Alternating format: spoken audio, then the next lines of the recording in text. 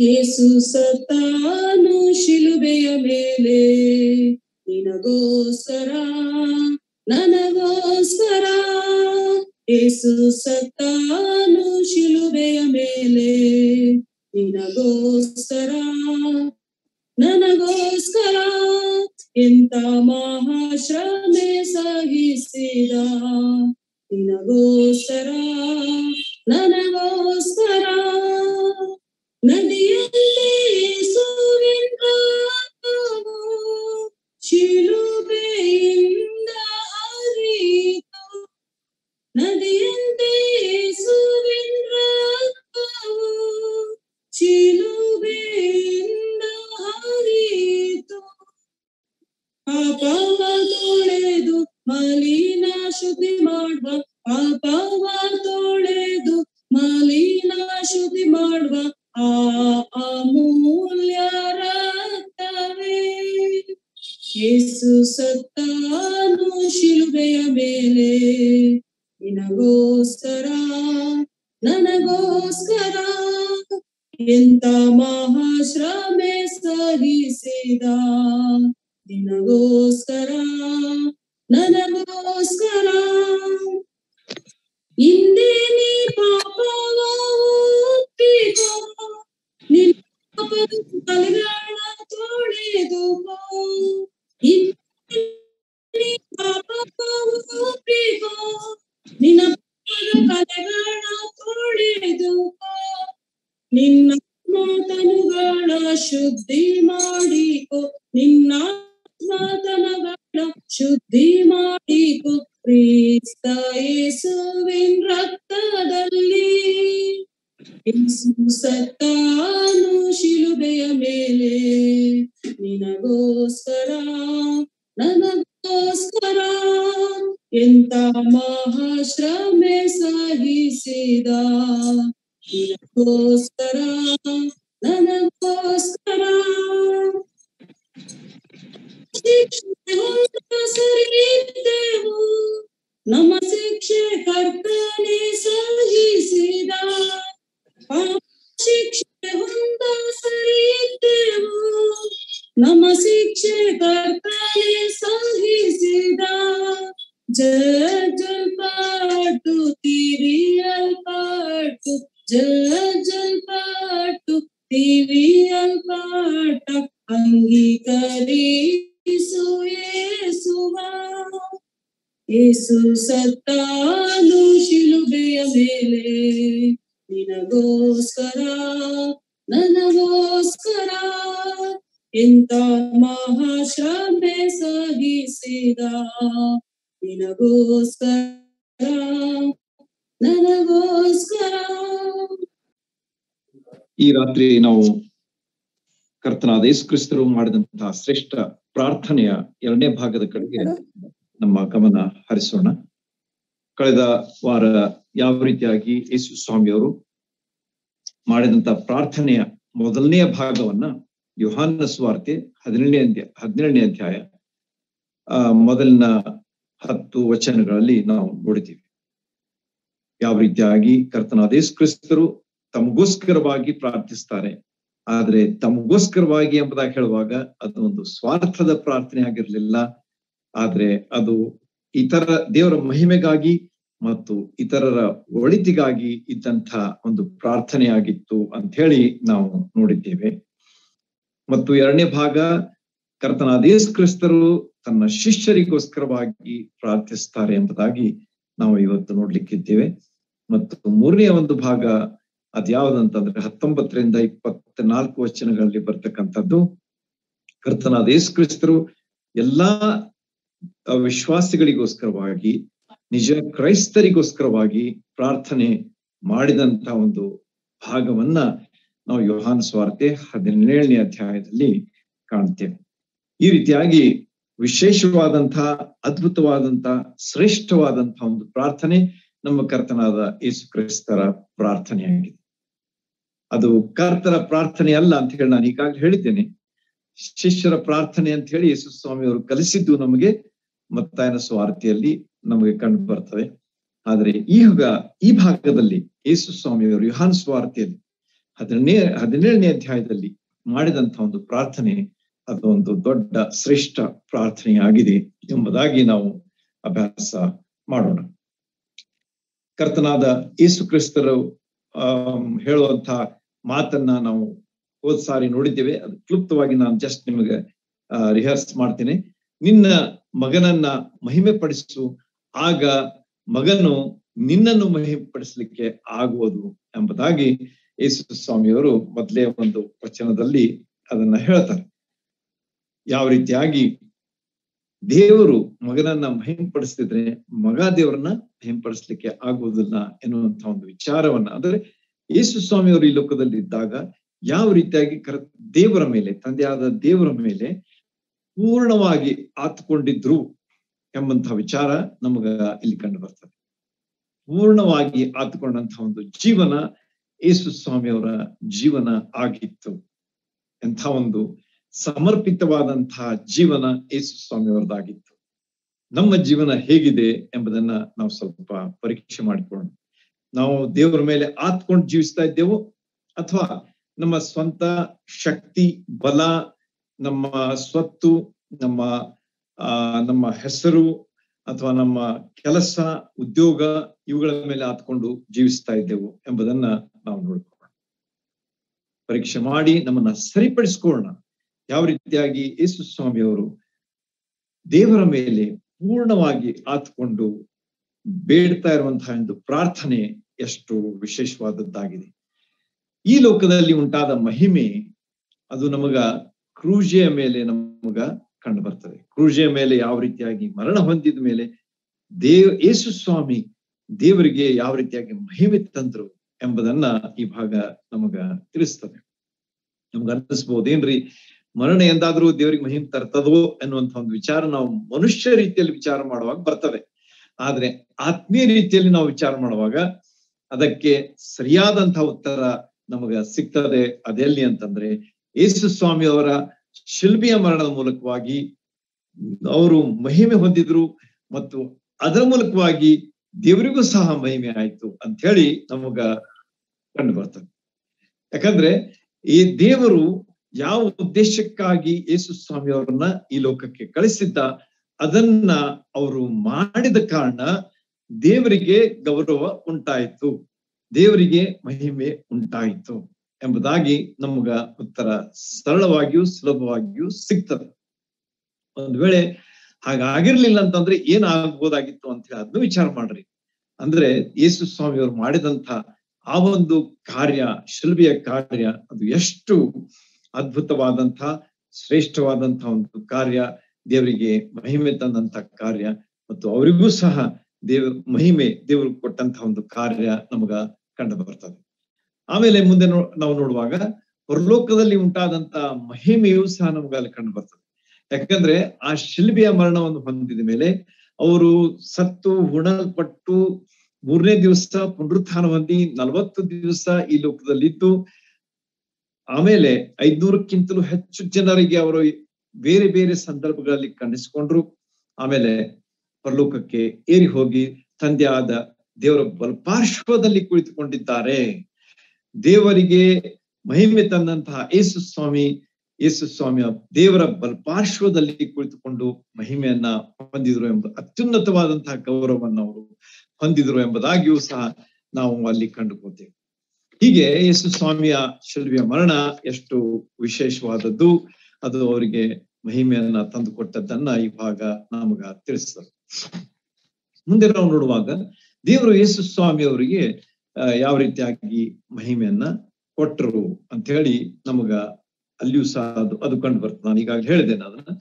ಮಹಿಮೆಗೆ ಸೇರುವ ಮೊದಲು ಮಾಡಬೇಕೆಂತ ಯಾವ್ದಾಗಿತ್ತು ಅಂತಂದ್ರೆ, ನೀನು ನನಗೆ ಕೊಟ್ಟ ಒಂದು ಕೆಲಸವನ್ನ ನಾನು ನೆರವೇರಿಸ್ತೇನೆ. ಇದು ಒಂದು ಮುಖ್ಯವಾದಂತಹ ಒಂದು ವಿಷಯ ಅಲ್ಲಿ ನಮಗ ಕಾಣ್ತದೆ. ನಾನು ಹೇಳಿದೆ ಈಗಾಗಲೇ ನಿಮ್ಗೆ. ದೇವರು ಯಾವ ಉದ್ದೇಶಕ್ಕಾಗಿ ಯೇಸು ಕಳಿಸಿದ್ದ ಅದನ್ನ ಅವರು ನೆರವೇರಿಸಿದ್ರು, ಅದರ ಮೂಲಕವಾಗಿ ದೇವರಿಗೆ ಮಹಿಮೆ ಆಯ್ತು ಅಂತ ಹೇಳಿ ನಮಗ ಅಲ್ಲಿ ಕಂಡು ಭೂಲೋಕದಲ್ಲಿ ನಿನ್ನನ್ನು ಮಹಿಮೆ ಪಡಿಸಿದನು ಐದನೇ ವಚನಕ್ಕೆ ನಾವು ಬರುವಾಗ ಅಲ್ಲಿ ಹೀಗೆ ಹೇಳ್ತದೆ, ಭೂಲೋಕದಲ್ಲಿ ನಿನ್ನನ್ನ ಮಹಿಮೆ ಪಡಿಸಿದನು ಈಗ ನೀನು ನಿನ್ನ ಬಳಿಯಲ್ಲಿ ನನ್ನನ್ನ ಮಹಿಮೆ ಪಡಿಸು ಎಂಬುದಾಗಿ ಯೇಸು ಸ್ವಾಮಿ ಅವರಲ್ಲಿ ಹೇಳ್ತಾ ಇದ್ದಾರೆ. ತಂದೆ ಮೇಲೆ ಯೇಸು ಸ್ವಾಮಿಯ ಪ್ರೀತಿ ಅಲ್ಲಿ ನಮಗ ಕಂಡು ಬರ್ತದೆ. ದೇವರ ಯೋಜನೆ ಅಲ್ಲಿ ನಮಗ ಕಾಣ್ತದೆ. ಅಷ್ಟೇ ಅಲ್ಲದೆ ಯೇಸು ಸ್ವಾಮಿಯವರ ವಿಧೇಯತೆಯ ಜೀವನವೂ ಸಹ ನಮಗ ಅಲ್ಲಿ ಸಿಗ್ತದೆ. ನೋಡ್ರಿ ಎಷ್ಟು, ಆ ಅದ್ಭುತವಾದಂತಹ ವಿಚಾರಗಳು ಇಲ್ಲಿ ನಮ್ ಕಂಡು ಬರ್ತವೆ. ಅವ್ಯಾವಂತಂದ್ರೆ ದೇವರ ಮೇಲೆ ಯೇಸು ಸ್ವಾಮಿಯವರ ಪ್ರೀತಿ. ದೇವರ ಯೋಜನೆ, ಅಂದ್ರೆ ಇಡೀ ಲೋಕದ ರಕ್ಷಣೆಯ ಯೋಜನೆ. ಯೇಸು ಸ್ವಾಮಿಯ ಮೂಲಕವಾಗಿ, ಯೇಸು ಸ್ವಾಮಿಯ ಶಿಲುಬೆಯ ಮೂಲಕವಾಗಿ ಎಂಬುದನ್ನ ಈ ಭಾಗ ನಮ್ಗ ತೋರಿಸ್ಕೊಡ್ತದೆ. ಅಷ್ಟೇ ಅಲ್ಲದೆ ಯೇಸು ಸ್ವಾಮಿಯವರು ಸಂಪೂರ್ಣವಾಗಿ ವಿಧೇಯರಾದಂತಹ ಒಂದು ಜೀವಿತವನ್ನ ಜೀವಿಸಿ ದೇವರಿಗೆ ಮಹಿಮೆ ತರುವುದಷ್ಟೇ ಅಲ್ಲ, ಎಲ್ಲರಿಗೂ ಒಂದು ಮಾದರಿಯನ್ನ ಬಿಟ್ಟು ಹೋಗಿದ್ದಾರೆ ಎಂಬುದು ಸಹ ನಮಗೆ ಇಲ್ಲಿ ತಿಳಿದು ಬರ್ತದೆ.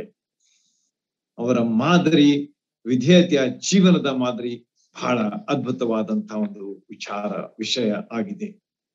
ಹೀಗೆ ಯೇಸು ಸ್ವಾಮಿ ನಮಗ ಈ ಭಾಗದಲ್ಲಿ ನಾವು ನೋಡುವಾಗ ಎಷ್ಟು ಅದ್ಭುತವಾದ ರೀತಿಯಲ್ಲಿ ಕಂಡು ಬರ್ತಾರೆ. ಆಮೇಲೆ ಮುಂದೆ ನಾವು ದೇವರ ಮಹಿಮೆ ಪಡಿಸುವ ಒಂದು ಹಂಬಲ ಅವರಲ್ಲಿ ಇದೆ ಎಂಬುದು ಈ ಪ್ರಾರ್ಥನೆಯಲ್ಲಿ ನಮಗೆ ಕಂಡು ಬರ್ತದೆ.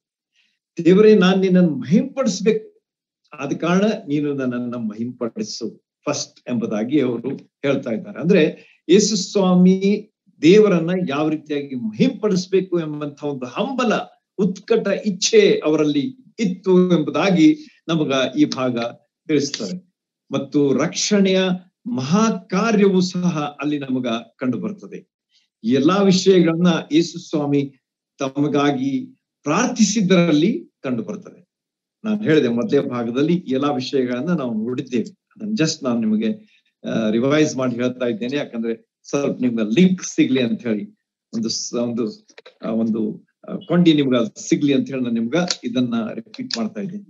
ಹೀಗೆ ಯೇಸು ಸ್ವಾಮಿಯವರು ತಮಗೋಸ್ಕರವಾಗಿ ಪ್ರಾರ್ಥಿಸಿದ್ರು. ಅಂದ್ರೆ ಇಷ್ಟೆಲ್ಲಾ ವಿಷಯಗಳನ್ನ ಒಳಗೊಂಡಂತ ಪ್ರಾರ್ಥನೆ. ಇದೊಂದು ಸ್ವಾರ್ಥದ ಪ್ರಾರ್ಥನೆ ಅಲ್ಲ, ಆದ್ರೆ ಪ್ರಾರ್ಥದ, ಪರಾರ್ಥದ ಪ್ರಾರ್ಥನೆ. ಅಂದ್ರೆ ಬೇರೆಯವರಿಗೋಸ್ಕರವಾಗಿ ತಾವು ಮಾಡಿದಂತಹ ಒಂದು ಪ್ರಾರ್ಥನೆಯಾಗಿತ್ತು ಅಂತ ಹೇಳಿ ನಮಗ ಅಲ್ಲಿ ಕಂಡು ಬರ್ತದೆ. ಎಲ್ಲರ ಒಳಿತಿಗಾಗಿ, ದೇವರ ಮಹಿಮೆಗಾಗಿ ಮಾಡಿದಂತಹ ಒಂದು ಪ್ರಾರ್ಥನೆ. ಇವತ್ತು ಯೇಸು ಕ್ರಿಸ್ತರು ಮಾಡಿದಂತಹ ಎರಡನೇ ಭಾಗ, ಪ್ರಾರ್ಥನೆಯ ಒಂದು ಎರಡನೇ ಭಾಗದ ಕಡೆಗೆ ನಮ್ಮ ಗಮನ ಹರಿಸೋಣ. ಅದು ಸಹ ಬಹಳ ವಿಶೇಷವಾದದ್ದು, ಯಾಕಂದ್ರೆ ಅಲ್ಲಿ ಅವರು ಶಿಷ್ಯರಿಗೋಸ್ಕರವಾಗಿ ಪ್ರಾರ್ಥನೆ ಮಾಡ್ತಾ ಇದ್ದಾರೆ. ಮೊದಲೇ ಭಾಗದಲ್ಲಿ ಅವರು ತಮಗೋಸ್ಕರವಾಗಿ ಪ್ರಾರ್ಥನೆ ಮಾಡಿದ್ರು. ಅದರಲ್ಲಿ ದೇವರ ಮಹಿಮೆ ಮತ್ತು ಇತರರಿಗೆ ಒಳ್ಳೇದಾಗಲಿ ಎಂಬಂತಹ ವಿಚಾರಗಳಿದ್ದವು ಅಂತ ಹೇಳಿ ನಾವು ನೋಡಿದ್ವಿ. ಆದರೆ ಇವತ್ತು ನಾವು ನೋಡುವಾಗ ಅದು ಶಿಷ್ಯರಿಗೋಸ್ಕರವಾಗಿ ಮಾಡಿದಂತಹ ಒಂದು ಪ್ರಾರ್ಥನೆ. ಯೇಸು ಸ್ವಾಮಿ ಅವರ ಶಿಷ್ಯರಿಗೋಸ್ಕರವಾಗಿ ಯಾಕೆ ಪ್ರಾರ್ಥನೆ ಮಾಡುವುದರ ಅವಶ್ಯಕತೆ ಇತ್ತು ಎಂಬಂತ ಒಂದು ವಿಷಯ ನಮಗ ಕಂಡು ಬರ್ತದೆ ನಮ್ ಮುಂದೆ ಬರ್ತದೆ. ಯಾಕೆ ಅಂತ ಹೇಳಿ ನಾವು ಒಂದು ಪ್ರಶ್ನೆ ಹಾಕುವಾಗ, ಯೇಸು ಸ್ವಾಮಿಯವರ ಒಂದು ಕಾರ್ಯ ಈಗ ಮುಗಿತಾ ಬಂದಿತ್ತು. Last fag end of the of his life ಅಂತ ಹೇಳಿ ಹೇಳಬಹುದು ನಾವು. ಅಂದ್ರೆ ಅವರ ಒಂದು ಜೀವನದ ಅಂತ್ಯ ಭಾಗದಲ್ಲಿ ಅವರು ಇದ್ದಾರೆ. ಈಗ ಈಗ ಅವರು ಅಲ್ಲಿ ಈ ಪ್ರಾರ್ಥನೆಯನ್ನ ನೀವು ಓದಿದ್ರೆ ಅಲ್ಲಿ ನಿಮಗೆ ಕಂಡು ಬರ್ತದೆ, ನಾನು ವಚನ ವರ್ಸ್ ಬೈ ವರ್ಸ್ ಓದ್ಲಿಕ್ಕೆ ಹೋಗುದಿಲ್ಲ ಟೈಮ್ ಆಗ್ತದೆ ಅಂತ ಹೇಳಿ. ನೀವು ಆಮೇಲೆ ಓದ್ರಿ, ಒಂದೊಂದು ವಚನವನ್ನ ಸಾವಕಾಶವಾಗಿ ಓದ್ರಿ ಒಂದ್ ಸಲ ಅಲ್ಲ, ಎರಡ್ ಸಲ ಮೂರ್ ಸಲ ಬಹಳ ಸಲ ಓದ್ರಿ. ಆಗ ಇನ್ನೂ ಹೆಚ್ಚಾದಂತ ವಿವರಣೆ, ಸ್ಪಷ್ಟತೆ ನಿಮಗಲ್ಲಿ ಸಿಗ್ತದೆ. ಈಗ ನಾನು ಇಷ್ಟೇ ಹೇಳಿಕ್ ಬಯಸ್ತೇನೆ, ಅವರು ತಮ್ಮ ಕೆಲಸ ಮುಗಿಸಿದ ಮೇಲೆ ಹೋಗ್ಬಿಡ್ತಾರೆ. He will leave this world ಈ ಲೋಕವನ್ನ ಬಿಟ್ಟು ಪರಲೋಕಕ್ಕೆ ನಾನು ಹೋಗ್ತೇನೆ ಎಂಬಂತ ಒಂದು ಯೋಜನೆ ಅವ್ರ ಮುಂದಿದೆ. ಹಾಗಾದ್ರೆ ಹಿಂದೆ ಯಾರು ಉಳಿತಾರೆ? ಈ ಪ್ರಶ್ನೆಗೆ ಉತ್ತರ ಶಿಷ್ಯರು ಉಳಿತಾರೆ. ಅರ್ಥ ಆಯ್ತು ಅನಿಸ್ತದ ನನಗೆ. ಯೇಸು ಸ್ವಾಮಿಯವರು ಈ ಲೋಕ ಬಿಟ್ಟು ಹೋದ್ಮೇಲೆ ಹಿಂದೆ ಉಳಿಯುವಂತಹ ವ್ಯಕ್ತಿಗಳು ಯಾರಂತಂದ್ರೆ ಯೇಸು ಸ್ವಾಮಿಯ ಶಿಷ್ಯರೇ. ಓಕೆ, ಹನ್ನೆರಡು ಜನ ಶಿಷ್ಯರಿದ್ರು. ಅದರಲ್ಲಿ ಒಬ್ಬ ಏನಾದ ಅಂತ ಹೇಳಿ ನಿಮ್ಗೆ ಗೊತ್ತದ. ಅವನು ಯೇಸು ಸ್ವಾಮಿಯವ್ರನ್ನ ಮೂವತ್ತು ನಾಣ್ಯಗಳಿಗೆ ಬೆಳೆಯ ನಾಣ್ಯಗಳನ್ನು ತೆಗೆದುಕೊಂಡು ಯೇಸು ಸ್ವಾಮಿಯವ್ರನ್ನ ಹಿಡಿದುಕೊಟ್ಟಂತಹ ಹಿಡಿದು ಕೊಟ್ಟಂತಹ ಒಬ್ಬ ವ್ಯಕ್ತಿ ಆತ ನಿಷ್ಕ್ರಿಯ, ಯೂದ. ಅವನು ಮುಂದೆ ಅವನಿಗೆ ಗೊತ್ತಾಯ್ತು ನಾನು ತಪ್ಪು ಮಾಡಿದೆ ಅಂತ ಹೇಳಿ, ಆದ್ರೆ ಆ ತಪ್ಪನ್ನು ಒಪ್ಪಿಕೊಂಡು ಪಶ್ಚಾತ್ತಾಪಟ್ಟು ಯೇಸು ಸ್ವಾಮಿ ಅವರ ಬಳಿಗೆ ಬಂದು ಕ್ಷಮೆ ಕೇಳಿದ್ರೆ ಯೇಸು ಸ್ವಾಮಿ ಅವನನ್ನ ಕ್ಷಮಿಸ್ಬಿಡ್ತಾ ಇದ್ರು, ಆದ್ರೆ ಅವನು ತಪ್ಪು ಮಾಡಿ ಅದರ ಒಂದು ಸುಧಾರಣೆ ಮಾಡೋದಕ್ಕಾಗಿ ಎಲ್ಲಿ ಹೋದ ಅಂತಂದ್ರೆ ಯಾರು ಅವನಿಗೆ ರೊಕ್ಕ ಕೊಟ್ಟಿದ್ರು ಅವ್ರ ಬಳಿಗೆ ಹೋದ್ರು, ಹೋದ. ಆಗ ಏನಾಯ್ತು ಅಂತ ಹೇಳಿ ನಿಮ್ಮೆಲ್ರಿಗೂ ಗೊತ್ತದೆ. ಅವ್ರಂದ್ರೆ ನಮ್ಗೇನ್ ಗೊತ್ತಿಲ್ಪ? ನೀನ್ ಏನ್ ಮಾಡಿದೆ ಅದ್ ನೀನಕ್ ಬಿಟ್ಟು ಕೊಟ್ಟಿರ್ತು ಅಂತ ಹೇಳಿ ಅವನ್ ಅವ್ರು ಹಾರಿಸ್ಕೊಂಡ್ ಬಿಟ್ರ ಅದನ್ನ. ಕೊನೆಗೆ ಅವನೇನ್ ಮಾಡಿದ ಅಂತಂದ್ರೆ ಹೋಗಿ ಉರುಳು ಹಾಕೊಂಡು ಸತ್ತ ಅಂತ ಹೇಳಿ ಈ ಶಿಷ್ಯ ಇಸ್ಕರಿಯುತ್ತಿಯುವುದನ್ನ ಬಗ್ಗೆ ನಾವೆಲ್ಲರೂ ತಿಳಿದಿದ್ದೆ ಹಾಗಾದ್ರೆ ಉಳಿದವರೆಷ್ಟು? ಹನ್ನೊಂದು ಜನ. ಯೇಸು ಸ್ವಾಮಿ ಅವರು ಈ ಹನ್ನೊಂದು ಜನರಿಗೋಸ್ಕರವಾಗಿ ಮಾಡಿದಂತಹ ಪ್ರಾರ್ಥನೆ ಎಷ್ಟು ವಿಶೇಷವಾದದ್ದು ಅಂತ ಹೇಳಿ ಈ ಭಾಗದಿಂದ ನಾವು ಕಂಡುಕೊಳ್ತೀವಿ. ಹನ್ನೆರಡು ಜನರಲ್ಲಿ ಒಬ್ಬ ಇಲ್ಲ ಅಂದ್ರೆ ಸ್ವಲ್ಪ ಸಮಯದ ಆದ್ಮೇಲೆ ಅವ್ನು ಹೋಗ್ಬಿಡ್ತಾನೆ. ಉಳಿತಾರೆ ಎಷ್ಟು ಅಂತಂದ್ರೆ ಹನ್ನೊಂದು ಜನರು. ಆ ಹನ್ನೊಂದು ಜನ ಶಿಷ್ಯರಿಗೋಸ್ಕರವಾಗಿ ದೇವರು ಪ್ರಾರ್ಥಿಸ್ತಾ ಇದ್ದಾನೆ ಎಂಬಂತಹ ವಿಚಾರ ಎರಡನೇ ಭಾಗದಲ್ಲಿ ನಮಗ ಕಂಡು ಬರ್ತದೆ. ಅವರಿಗೋಸ್ಕರವಾಗಿ ಯಾಕೆ ಪ್ರಾರ್ಥಿಸಬೇಕಾಗಿತ್ತು ಅಂತ ಹೇಳಿ ನಮ್ಮ ಮುಂದೆ ಮತ್ತೊಂದು ಪ್ರಶ್ನೆ ಬರುವಾಗ ಅದರ ಉತ್ತರವನ್ನ ನಾವು ಈಗ ಕೂಲಂಕಷವಾಗಿ ಅಭ್ಯಾಸ ಮಾಡಲಿಕ್ಕೆ ಪ್ರಯತ್ನ ಮಾಡೋಣ. ಶಿಷ್ಯರ ವಿಷಯವಾಗಿ ಯೇಸು ಸ್ವಾಮಿ ಅವರು ಮಾಡಿದಂತಹ ಪ್ರಾರ್ಥನೆ ದೇವರ ಮಹಿಮೆಗಾಗಿ ಮತ್ತು ಇತರರ ಒಳಿತಿಗಾಗಿ ನಾವು ಈಗಾಗಲೇ ಮಾಡಿದ್ದನ್ನ ನಾವು ನೋಡಿದ್ದೀವಿ. ಈಗ ಒಂಬತ್ತನೇ ವಚನಕ್ಕೆ ಬರುವಾಗ, ಆ, ಶಿಷ್ಯರಿಗಾಗಿ ಮಾಡಿದಂತ ಪ್ರಾರ್ಥನೆ, ಶಿಷ್ಯರು ಯಾರಂತ ಹೇಳಿ ನಾವು ಈಗಾಗಲೇ ನೋಡಿದ್ವು. ಆಮೇಲೆ ಅವ, ಅವರ ಬಗ್ಗೆ ನಾವು ಈ ಹನ್ನೆರಡರಿಂದ ಹತ್ತೊಂಬತ್ತು ವಚನಗಳ ಬಗ್ಗೆ ನಾವು ಓದುವಾಗ, ಹನ್ನೊಂದರಿಂದ ಹತ್ತೊಂಬತ್ತು ವಚನಗಳನ್ನ ಈಗಾಗಲೇ ನೀವು ಓದಿದ್ದೀರಿ, ಸಹೋದರಿ ಓದಿದ್ದಾರೆ. ಅದರಲ್ಲಿ ಬಂದಂತಹ ವಿಷಯಗಳಲ್ಲಿ ನಾವು ಲೋಕ ಎಂಬಂತಹ ಒಂದು ಪದ ಪ್ರಯೋಗ ಆಗಿದೆ ಅದರ. ಲೋಕ ಎಂಬುದಾಗಿ. ಇದನ್ನ ಹತ್ತೊಂಬತ್ತು ಸಲ nineteen times it is repeated ಎಂಬುದಾಗಿ. ಅಂದ್ರೆ ಶಿಷ್ಯರು ಯಾವ ರೀತಿಯಾಗಿ ಈ ಲೋಕದಲ್ಲಿ ಉಳಿತಾರೆ ಮತ್ತು ಅವರ ಬಗ್ಗೆ ಏನು ಎಂಬಂತಹ ವಿಚಾರವನ್ನ ಈ ಭಾಗದ ಭಾಗದ ಪ್ರಾರ್ಥನೆ ನಮಗ ತಿಳಿಸ್ಕೊಡ್ತದೆ. ಇಟ್ ಈಸ್ ವೆರಿ ಇಂಪಾರ್ಟೆಂಟ್ ಯಾಕಂದ್ರೆ ಶಿಷ್ಯರು ಈ ಲೋಕದಲ್ಲಿ ಉಳಿತಾರೆ ಮತ್ತು ಅವರಿಗೋಸ್ಕರವಾಗಿ ದೇವರು ಏನೇನ್ ಮಾಡಬೇಕು ಎಂಬಂತಹ ವಿಷಯವನ್ನ ಯೇಸು ಸ್ವಾಮಿ ಇಲ್ಲಿ ನಮ್ಗ ವಿವರಿಸಿದ್ದಾರೆ. ಆದ ಕಾರಣ ಒಂಬತ್ತನೇ ವಚನದಲ್ಲಿ ನಾವು ನೋಡುವಾಗ ಅದು ಲೋಕಕ್ಕೋಸ್ಕರವಲ್ಲ, ಆದ್ರೆ ನೀನು ನನಗೆ ಕೊಟ್ಟವರಿಗೋಸ್ಕರವಾಗಿಯೇ ಎಂಬುದಾಗಿ ಯೇಸು ಸ್ವಾಮಿ ಹೇಳ್ತಾರೆ ಲೋಕಕ್ಕೋಸ್ಕರವಾಗಿ ಪ್ರಾರ್ಥಿಸ್ಲಿಲ್ಲ ಅವರು. ಆದ್ರೆ ನನಗೆ ಕೊಟ್ಟವರಲ್ಲಿ ಅಂತಂದ್ರೆ ಹನ್ನೆರಡು ಜನ ಕೊಟ್ಟಿದ್ದಿ, ಅದ್ರಾಗ ಒಬ್ಬ ಅವನು ನನ್ನನ್ನ ನನ್ನನ್ನು ಹಿಡಿದುಕೊಟ್ಟ ಆತನು ಹಾಳಾಗಿ ಹೋದ ಅಂತಂದ್ರೆ ಆತ್ಮಹತ್ಯೆ ಮಾಡ್ಕೊಂಡು ಸತ್ತೋದ. ಆದ್ರೆ ಈಗ ಉಳಿದಂತ ಹನ್ನೊಂದು ಜನರ ಸಲುವಾಗಿ ನಾನು ಈಗ ನಿನಗೆ ಪ್ರಾರ್ಥನೆ ಮಾಡ್ತಾ ಇದ್ದೇನೆ ಎಂಬುದನ್ನ ಯೇಸು ಸ್ವಾಮಿ ಇಲ್ಲಿ ನಮಗ ತಿಳಿಸ್ಕೊಡ್ತಾ ಇದ್ದಾರೆ. ನೀನು ನನಗೆ ಕೊಟ್ಟವರಿಗೋಸ್ಕರವಾಗಿಯೇ ನಾನು ಪ್ರಾರ್ಥನೆ ಮಾಡ್ತೇನೆ. ಯಾಕಂದ್ರೆ ಅವರನ್ನ ಪ್ರತ್ಯೇಕಿಸಿದ್ದಿ. ಈ ಲೋಕದಲ್ಲಿ ಅವರನ್ನ ಪ್ರತ್ಯೇಕಿಸಿದ್ದಿ ಎಂಬುದನ್ನ ಯೇಸು ಸ್ವಾಮಿಯಲ್ಲಿ ಹೇಳ್ತಾರೆ. ಬೇರೆ ಬೇರೆ ಸಂದರ್ಭಗಳಲ್ಲಿ ನಾವು ಈ ಈ ಒಂದು ವಿಚಾರವನ್ನ ನೋಡ್ತೀವಿ. ವ್ಯವಹಾರ ಮೂರು ಹದಿನಾರಲ್ಲಿಯೂ ನೋಡುವಾಗ ಲೋಕದ ವಿಷಯವಾಗಿ ಹೇಳಲ್ಪಟ್ಟಿದೆ. ದೇವ್ರ ಲೋಕದ ಮೇಲೆ ಎಷ್ಟು ಪ್ರೀತಿಯನ್ನಿಟ್ಟು ಎಂಬುದಾಗಿ ಹೇಳಲ್ಪಟ್ಟಿದೆ. ಮೊದಲೇ ವ್ಯವಹಾರ ಮೂರನೇ ಅಧ್ಯಾಯ ಎರಡನೇ ವಚನದ ಕಡೆಗೆ ನೋಡುವಾಗ ನಾವು ಆತನ ಹಾಗೆ ಆಗ್ತೇವೆ. ನಾವು ಈ ಲೋಕದಲ್ಲಿ ಇದ್ರೂ ಕೂಡ ನಮ್ಮ ಮುಂದಿನ ಸ್ಥಿತಿ ಏನಂತಂದ್ರೆ ನಾವು ಆತನ ಹಾಗೆ ಆಗ್ತೇವೆ ಎಂಬುದಾಗಿ ಒಂದು ನಿರೀಕ್ಷೆಯನ್ನ ಅಲ್ಲಿ ಮೊದಲೇ ವಾಹನ ಮೂರು ಎರಡರಲ್ಲಿ ನೋಡ್ತೇವೆ. ರೋಮ ಹನ್ನೆರಡು ಒಂದನ್ನ ನಾವು ನೋಡುವಾಗ ನಾವು ಮೀಸಲಾಗಿಯೂ ಮೆಚ್ಚುಗೆಯಾಗಿಯೂ ಇರುವ ಸಜೀವ ಯಜ್ಞವಾಗಿ ನಾವು ಅರ್ಪಿಸಲ್ಪಟ್ಟಿದ್ದೇವೆ ಎಂಬುದಾಗಿ, ಅರ್ಪಿಸಲ್ಪಡಬೇಕು ಎಂಬುದಾಗಿ ನಾವು ಅಲ್ಲಿ ಅಹ್ ಪೌಲನು ರೋಮಾಪುರದವರಿಗೆ ಬರೆದ ಪತ್ರದಲ್ಲಿಯೂ ಸಹ ಹೇಳ್ತಾನೆ. ಹೀಗೆ ಈ ಶಿಷ್ಯರ ಒಂದು ಜೀವನ ಅದು ಹೇಗೆ ಇರಬೇಕು ಎಂಬುದನ್ನ ಈ ಕೆಲವು ವಚನಗಳಿಂದ ನಾವು ಕಂಡುಕೊಂಡಿದ್ದೇವೆ. ಯಾಕೋಬ ನಾಲ್ಕು, ನಾಲ್ಕನ್ನ ನಾವು ನೋಡುವಾಗ ಇವಾಗ ನೋಟ್ ಮಾಡ್ಕೊಡ್ರಿ ಆಮೇಲೆ ಓದ್ರಿ. ಬಹಳಷ್ಟು ನಿಮಗ ಅದರಿಂದ ಆಶೀರ್ವಾದ ಸಿಗ್ತದೆ. ಯೋಹಾನ ಸಾರಿ ಯಾಕೋಬ ನಾಲ್ಕು, ನಾಲ್ಕರಲ್ಲಿ ನೋಡುವಾಗ ಇಹಲೋಕದ, ಅಂದ್ರೆ ಈ ಲೋಕದ ಸ್ನೇಹ ದೇವರಿಗೆ ವೈರ ಎಂಬುದನ್ನ ಅಲ್ಲಿ ಅದು ಹೇಳ್ತದೆ. ಅಂದ್ರೆ ಎಲ್ಲಾ ವಚನಗಳು ಏನ್ ಮಾಡ್ತಾ, ಏನ್ ತೋರಿಸ್ತವೆ ಅಂತಂದ್ರೆ ಲೋಕದ ವಿಷಯವಾಗಿ ಇರ್ತಕ್ಕಂತ ಸಂಗತಿಗಳನ್ನ ತೋರಿಸ್ತವೆ.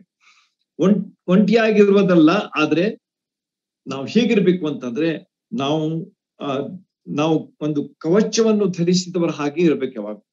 We have to be very very careful ಈ ಲೋಕದಲ್ಲಿ ನಾವು ಇದ್ದೇವೆ, ಆದ್ರೆ ನಾವು ಈ ಲೋಕದವರಲ್ಲ ಎಂಬುದನ್ನ ಇಲ್ಲಿ ಯೇಸು ಸ್ವಾಮಿ ಹೇಳಿ ನಮ್ಮ ಜೀವನ ಹೇಗಿರ್ಬೇಕು ಅಂತಂದ್ರೆ ಅದು ಒಂದು ಕವಚ ಧರಿಸಿ ಸಂರಕ್ಷಿಸಲ್ಪಟ್ಟಂತ ಒಂದು ಆ, ಅಂಗವ ದೇಹವಾಗಿರ್ಬೇಕು ಎಂಬುದನ್ನ ಇಲ್ಲಿ ಯೇಸು ಸ್ವಾಮಿ ತಿಳಿಸ್ತಾ ಇದ್ದಾರೆ.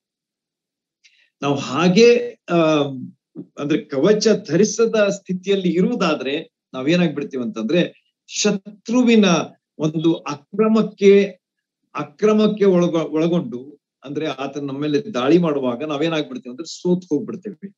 ಆದ ಕಾರಣ ಪೌಲ್ ಹೇಳ್ತಾನೆ, ದೇವರು ಕೊಟ್ಟಂತ ಸರ್ವಾಯುಧಗಳನ್ನ ಧರಿಸಿಕೊಳ್ಳಿರಿ ಎಂಬುದಾಗಿಯೂ ಸಹ ಪೌಲನು ಪತ್ರಿಕೆಗಳಲ್ಲಿ ಹೇಳ್ತಾನೆ.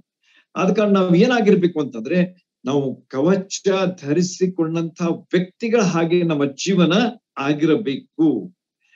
ಎರಡನೇ ತಿಮೋತಿ ನಾಲ್ಕನೇ ಅಧ್ಯಾಯ ಹತ್ತನೇ ವಚನದಲ್ಲಿ ಒಬ್ಬ ವ್ಯಕ್ತಿಯ ವಿಷಯವಾಗಿ ನೋಡ್ತೇವೆ. ಅವನೇನಂತಂದ್ರೆ ದೇಮ ಎಂಬಂತ ಒಬ್ಬ ವ್ಯಕ್ತಿ ಅವನೇನ್ ಮಾಡ್ದ ಅಂತಂದ್ರೆ, ಇಹಲೋಕವನ್ನ ಪ್ರೀತಿಸಿ ಪೌಲನನ್ನ ಬಿಟ್ಟು ಥೆಸಲೋನಿಕಕ್ಕೆ ಹೋದನು ಎಂಬುದಾಗಿ ಎರಡನೇ ತಿಮೋತಿ ನಾಲ್ಕನೇ ಅಧ್ಯಾಯ ಹತ್ತನೇ ವಚನದಲ್ಲಿ ನಮಗ ಕಂಡು ಬರ್ತದೆ. ಹೀಗೆ ಈ ಎಲ್ಲಾ ವಚನಗಳು ನಮ್ಗ ಏನ್ ತಿಳಿಸ್ತವೆ ಅಂತಂದ್ರೆ ಲೋಕದ ಬಗ್ಗೆ ನಾವು ಎಷ್ಟು ಎಚ್ಚರವಾಗಿರ್ಬೇಕು. ಯೇಸು ಸ್ವಾಮಿ ತನ್ನ ಶಿಷ್ಯರಿಗೋಸ್ಕರವಾಗಿ ಈ ಲೋಕದಲ್ಲಿ ಉಳಿದಂತಹ ಶಿಷ್ಯರಿಗೋಸ್ಕರವಾಗಿ ಎಷ್ಟು ಯೋಚಿಸಿ ಅವರಿಗಾಗಿ ದೇವರಿಗೆ ಪ್ರಾರ್ಥಿಸುವುದು ಎಷ್ಟು ಒಳ್ಳೆಯದಾಗಿದೆ ಎಂಬುದು ಈ ಎಲ್ಲಾ ಭಾಗಗಳಿಂದ ನಮಗ ತಿಳಿದು ಬರ್ತದೆ.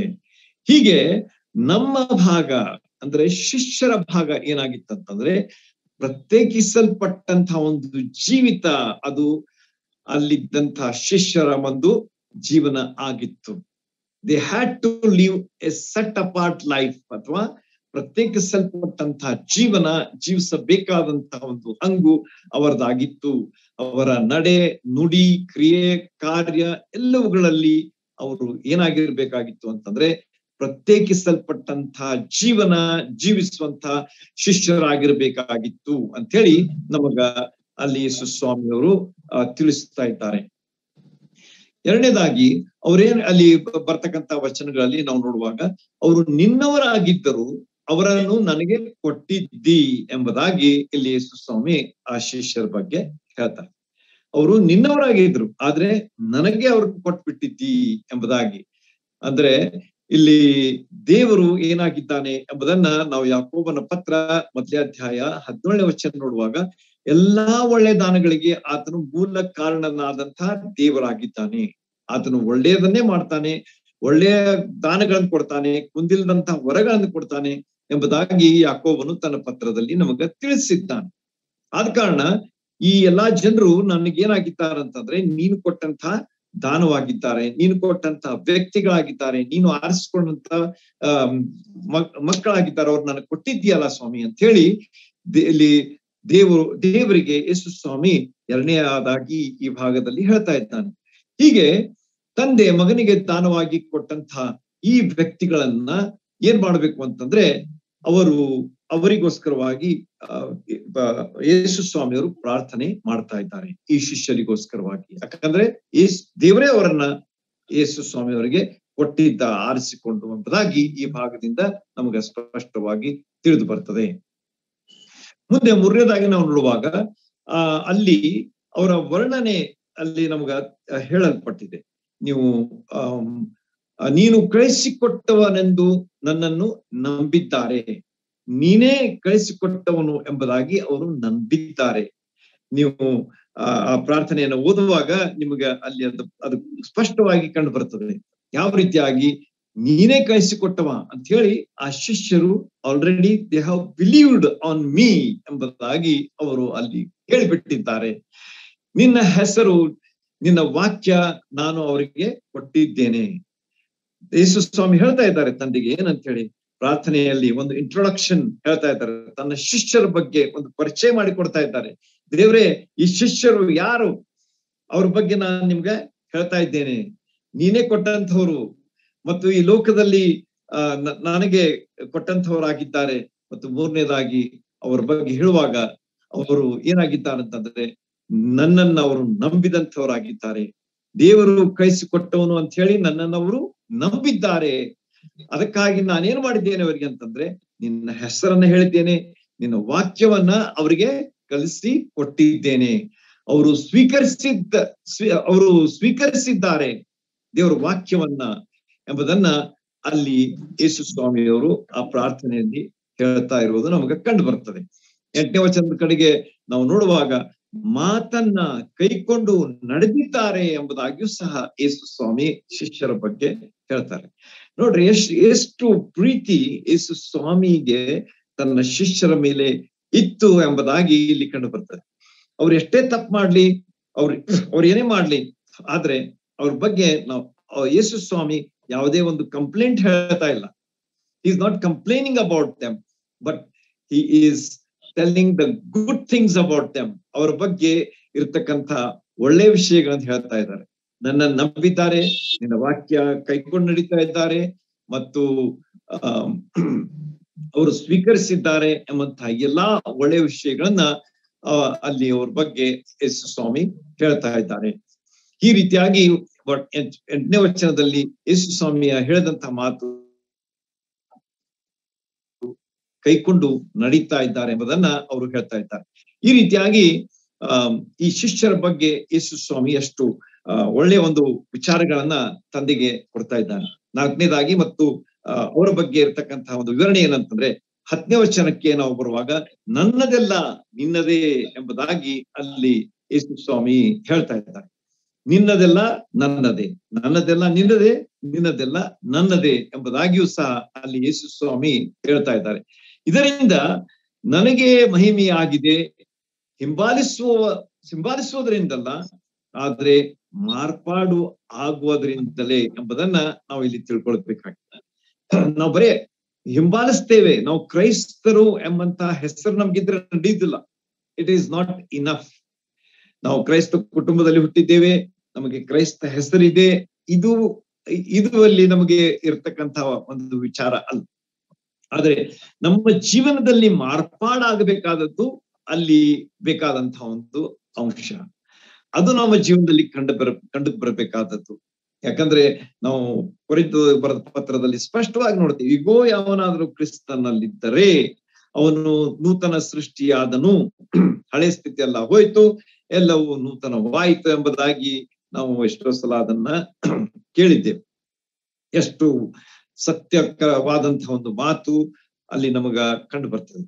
ಈ ರೀತಿಯಾಗಿ ಕೇವಲ ಹಿಂಬಾಲಿಸುವುದರಿಂದಲ್ಲ, ಆದ್ರೆ ದಿನಾಲು ಮಾರ್ಪಾಡಾಗುವುದರಲ್ಲಿ ನಂಬಿಕಸ್ಥವಾದಂತ ಸೇವೆಯಲ್ಲಿ ನಮಗ ಶಿಷ್ಯತ್ವ ಕಂಡು ಬರ್ತದೆ ಎಂಬುದಾಗಿ ಇಲ್ಲಿ ಯೇಸು ಸ್ವಾಮಿ ಅವ್ರ ಬಗ್ಗೆ ಹೇಳುವುದನ್ನ ನಾವು ಕಂಡುಕೊಳ್ತೇವೆ. ಅವರು ಸುಮ್ಮನೆ ಆ ಹೆಸರಿನ ಒಬ್ಬ ಹಿಂಬಾಲಕರಾಗಿರ್ಲಿಲ್ಲ ಅಥವಾ ಶಿಷ್ಯರಾಗಿರ್ಲಿಲ್ಲ, ಅವರು ಮಾರ್ಪಾಡು ಹೊಂದಿದಂತ ಶಿಷ್ಯರಾಗಿದ್ರು ಎಂಬುದಾಗಿಯೂ ಸಹ ಅವ್ರ ಬಗ್ಗೆ ಯೇಸು ಸ್ವಾಮಿ ನಮಗೆ ತಿಳಿಸ್ಕೊಡ್ತಾರೆ.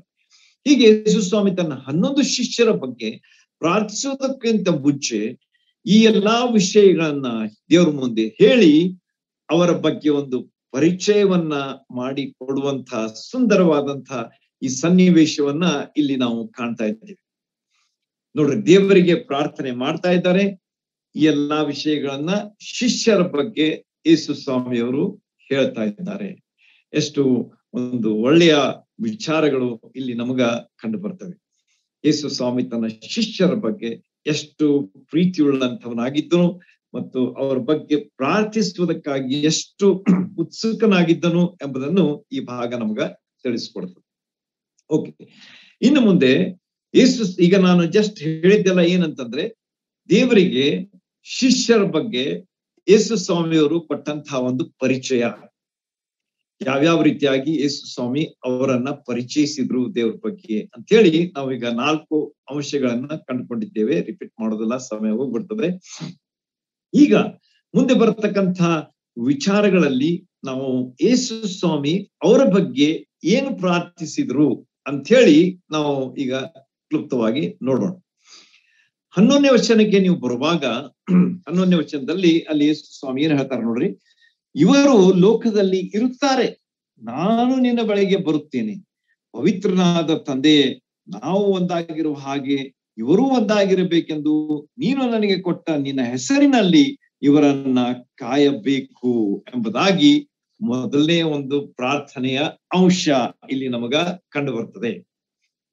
ಯೇಸು ಸ್ವಾಮಿಯವರು ಈಗಾಗಲೇ ನಾನು ವಿವರಿಸಿದ್ದೇನೆ ಎಲ್ಲ ವಿಷಯಗಳನ್ನ. ಆದ್ರೆ ಈಗ ಅವರು ಹೇಳ್ತಾ ಇದ್ದಾರೆ ಹನ್ನೊಂದನೇ ವಚನದಲ್ಲಿ ಏನಂತ ಹೇಳಿ ಮೂರುವರೆ ವರ್ಷಗಳ ಸೇವೆ ನಾನು ಈ ಲೋಕದಲ್ಲಿ ಮಾಡಿದೆ.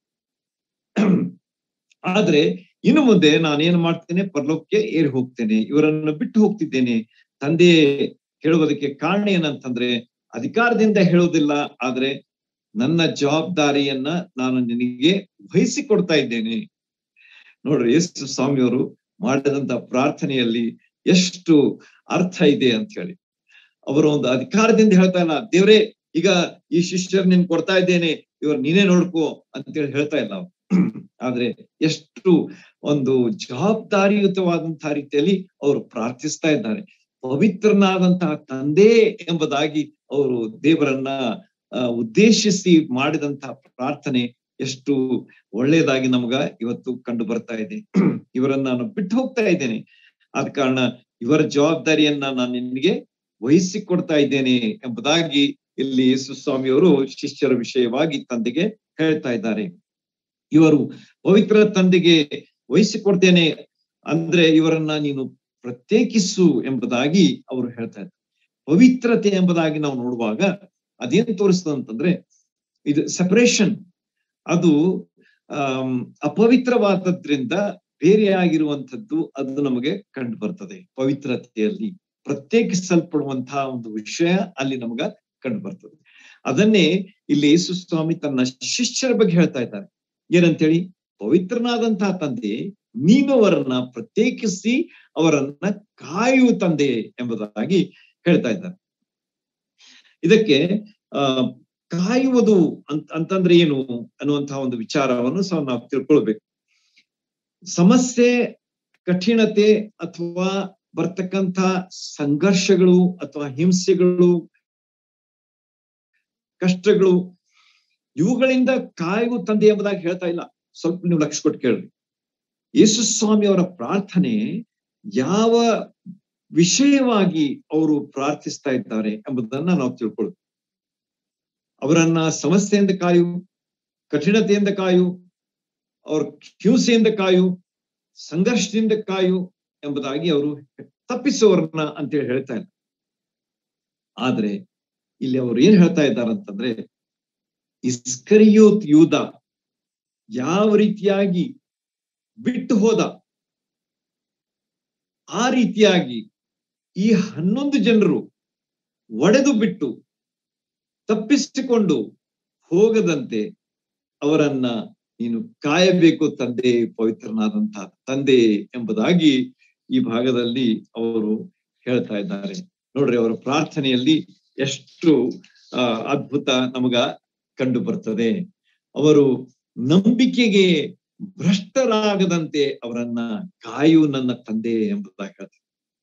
ಇಸ್ಕರಿಯುದಂತ ಹೋದ ಅವನಂತೆಯೇ ಉಳಿದ ಹನ್ನೊಂದು ಜನರಲ್ಲಿಯೂ ಸಹ ಒಡಕು ಉಂಟಾಗಿ ಅವರು ತಮ್ಮ ತಮ್ಮ ಹಾದಿ ಹಿಡಿದು ಹೋಗದಂತೆ ಅವರನ್ನ ನೀನು ಕಾಯು ನನ್ನ ಪವಿತ್ರ ತಂದೆ ಎಂಥ ಶ್ರೇಷ್ಠವಾದಂತಹ ವಿಚಾರ ಇಲ್ಲಿ ಯೇಸು ಸ್ವಾಮಿ ನಮಗೆ ಕಂಡು ಬರ್ತದೆ.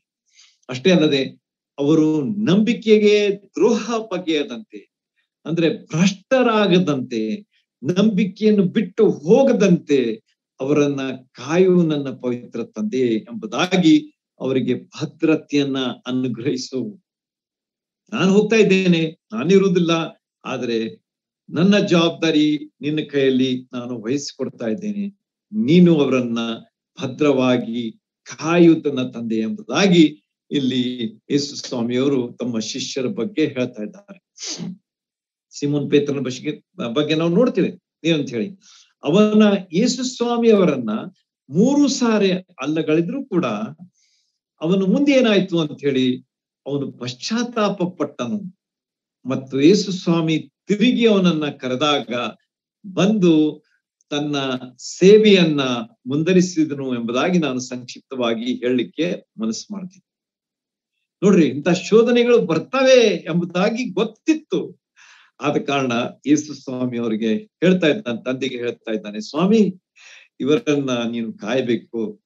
ಯಾಕಂದ್ರೆ ಪೇತ್ರನ ಉದಾಹರಣೆಯನ್ನೇ ನಾವು ನೋಡ್ತೇವೆ. ಯಾವ ರೀತಿಯಾಗಿ ಅವನು ಅಲ್ಲಗಳೆದು ಬಿಟ್ಟ.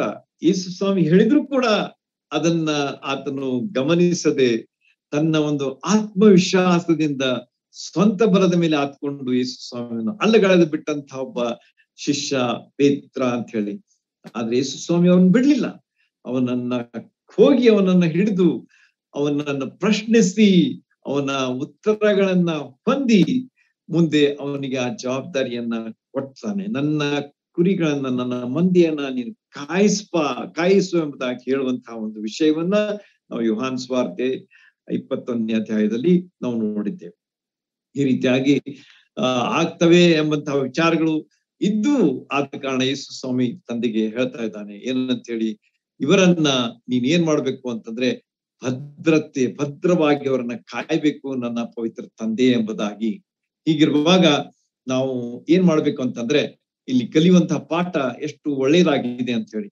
ಯೇಸು ಸ್ವಾಮಿ ಪೇತ್ರನ ಉಪಯೋಗಿಸ್ಕೊಂಡು ಪಂಚಾಶತ್ತಮ ದಿನದಲ್ಲಿ ನಾ ಆತನು, ಆ, ಪ್ರಸಂಗ ಮಾಡ್ತಾನೆ. ಆ, ಎಷ್ಟು ಒಂದು ಬಹಳ ದೊಡ್ಡ ಪ್ರಸಂಗ ಇಲ್ಲ. ನೀವು ಆ ಪ್ರಸಂಗ ಓದಿದ್ರೆ ಸಹ ಒಂದು ಮೂರು ನಿಮಿಷದಲ್ಲಿ ಮುಗಿದ್ ಬಿಡ್ತದ ಅಷ್ಟು ಸಣ್ಣ ಪ್ರಸಂಗ ಮಾಡಿದ್ರು ಕೂಡ ಪವಿತ್ರಾತ್ಮನ ಕಾರ್ಯ ಉಂಟಾಗಿ ಮೂರು ಸಾವಿರ ಜನರು ರಕ್ಷಣೆ ಹೊಂದಿದ್ರು ದೀಕ್ಷಾ ಸ್ನಾನ ಮಾಡಿಸಿಕೊಂಡ್ರು ಎಂಬುದಾಗಿ ಅಪ್ಪಸ್ತಲ ಕೃತ್ಯದಲ್ಲಿ ನಾವು ಓದ್ತೇವೆ. ಎಷ್ಟು ವಿಶೇಷವಾದಂತ ಕಾರ್ಯವನ್ನ ದೇವರು ಈ ಬಿಟ್ಟು ಹೋ, ಯೇಸು ಸ್ವಾಮಿಯವರು ಬಿಟ್ಟು ಹೋದಂತ ಶಿಷ್ಯರ ಮೂಲಕವಾಗಿ ಮಾಡಿದನು ಎಂಬುದಾಗಿ ನಮಗೆ ಇಲ್ಲಿ ಕಂಡು ಬರ್ತದೆ. ಯೇಸು ಸ್ವಾಮಿಯವರ ಪ್ರಾರ್ಥನೆ ಎಷ್ಟು ಫಲಕಾರಿಯಾಗಿ ನಮಗ ಕಂಡು ಬರ್ತದೆ. ಈ ಹನ್ನೆರಡು ಜನ ಶಿಷ್ಯರು, ಹನ್ನೊಂದು ಜನ ಶಿಷ್ಯರು ಸಾರಿ ಹನ್ನೆರಡನೇವನ್ನು ಆರಿಸಲ್ಪಡ್ತಾನೆ. ಅದು ಅಪಸ್ತದಲ್ಲಿ ಹೀಗೆ ಅವರು ಮತ್ತೆ ಹನ್ನೆರಡು ಜನರಾಗಿ ಈ ಸೇವೆಯನ್ನ ಮುಂದುವರಿಸಿಕೊಂಡು ಲೋಕವನ್ನ ಅಲ್ಲೋಲ್ ಕಲ್ಲೋಲ ಮಾಡಿದಂತಹ ವ್ಯಕ್ತಿಗಳಾಗಿ ನಮ್ಮ ಕಣ್ಣು ಮುಂದೆ ಬರ್ತಾರೆ. ಅವ್ರ ಬಗ್ಗೆ ನಾವು ಓದ್ತೇವೆ ಅಪಸ್ತಲ್ ಕೃತ್ಯದಲ್ಲಿ ಜನ ಹೇಳ್ತಾರೆ ಅವ್ರಿಗೆ ನೋಡಿ, ಏನು ಲೋಕವನ್ನೇ ಅಲ್ಲೋಲ್ ಕಲ್ಲೋಲ ಮಾಡಿದಂತಹ ಜನ ನೋಡಿರಿ ಇವರು ಅಂತ ಹೇಳ್ತಾ ಇದ್ದಾರೆ. ಅವ್ರ ಬಗ್ಗೆ ಸಾಕ್ಷಿ ಕೊಡ್ತಾ ಇದ್ದಾರೆ. ಕಾರಣ ಏನು? ಯೇಸು ಸ್ವಾಮಿಯವರು ತನ್ನ ಶಿಷ್ಯರಿಗೋಸ್ಕರವಾಗಿ ಮಾಡಿದ ಪ್ರಾರ್ಥನೆ ಎಷ್ಟು ಬಲವಾಗಿತ್ತು ಎಂಬುದನ್ನ ಈ ಭಾಗ ನಮಗ ತಿಳಿಸ್ತವೆ. ಆದ ಕಾರಣ ಮುಂದುವರಿಯುವಂತಹದ್ದು ಏನಾಗಿದೆ ಅಂತಂದ್ರೆ ಬಹಳ ಮುಖ್ಯವಾದಂತಹ ವಿಷಯ.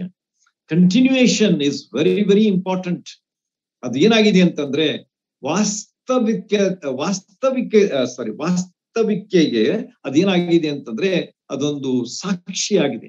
ಅಂದ್ರೆ ನಿಜ ಜೀವನಕ್ಕೆ ಅದೊಂದು ಸಾಕ್ಷಿಯಾಗಿದೆ. ಇವತ್ತು ಅದೇನ್ಪಾನ ನಾಳೆ ಇಲ್ಲ ಎನ್ನುವಂಥದ್ದಕ್ಕೆ ಯಾವ ಮಹತ್ವ ಇಲ್ಲ.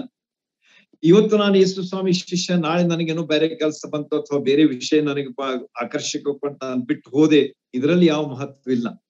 ನಾವು ಯಾವ ರೀತಿಯಾಗಿ ಆತನನ್ನ ಹಿಂಬಾಲಿಸ್ಲಿಕ್ಕೆ ನಾವು ಹೋಗುವಾಗ ಹಿಂದೆ ನೋಡ್ಬೇಡ್ರಿ, ನೇಗಿಲಿಗೆ ಕೈ ಹಾಕಿದವನು ಹಿಂದೆ ನೋಡಬಾರದು ಎಂಬುದಾಗಿ ಸ್ವಾಮಿ ಹೇಳ್ತಾರೆ ಆದ ಕಾರಣ ನಮ್ಮ ಜೀವನ ಅದೇನಾಗಿರ್ಬೇಕಂತಂದ್ರೆ ಸಮರ್ಪಿತವಾದಂತಹ ಪ್ರತ್ಯೇಕಿಸಲ್ಪಟ್ಟಂತಹ ಆತನನ್ನ ಹಿಂಬಾಲಿಸುವಂತಹ ಒಂದು ಜೀವನ ಆಗಿರಬೇಕಾದದ್ದು ಈ ಒಂದು ಮೊದಲೇ ಒಂದು ಪ್ರಾರ್ಥನೆಯ ಅಂಶದಲ್ಲಿ ನಮಗ ಕಂಡು ಬರ್ತದೆ. ಸಮಯದ ಅಭಾವದಿಂದ ನಾನು ಹೆಚ್ಚು ವಿವರಿಸ್ಲಿಕ್ಕೆ ಆಗುದಿಲ್ಲ ನೀವು ಓದ್ರಿ, ವಿಚಾರ ಮಾಡ್ರಿ. ಅನೇಕ ಸಂಗತಿಗಳು ಇದರಲ್ಲಿ ಇವೆ. ಅವುಗಳನ್ನ ನೀವು ಓದಿ ತಿಳ್ಕೊಳ್ಳುವಾಗ ಹೆಚ್ಚಾದಂತಹ ಒಂದು ಗ್ರಹಿಕೆ ನಿಮಗ ದೇವರು ಕೊಡ್ತಾನೆ. ಅದರಲ್ಲಿ ಇರ್ತಕ್ಕಂತ ಆನಂದವನ್ನ ನೀವು ಸವಿ, ಸವಿತೀರಿ ಖಂಡಿತವಾಗಿ ಅಂತ ಹೇಳಿ ನನಗ ಖಾತ್ರಿ ಇದೆ.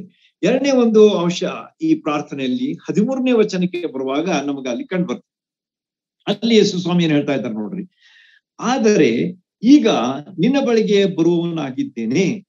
ಆದದರಿಂದ ಇವರಲ್ಲಿ ನನ್ನ ಆನಂದವು ಪರಿಪೂರ್ಣವಾಗಿರುವಂತೆ ಲೋಕದಲ್ಲಿದ್ದು ಈ ಮಾತುಗಳನ್ನ ಆಡುತ್ತೇನೆ ಎಂಬುದಾಗಿ ಯೇಸು ಸ್ವಾಮಿಯವರು ಶಿಷ್ಯರ ಬಗ್ಗೆ ಮಾಡಿದಂತಹ ಪ್ರಾರ್ಥನೆಯ ಎರಡನೆಯ ಒಂದು ಅಂಶ ಇದಾಗಿದೆ.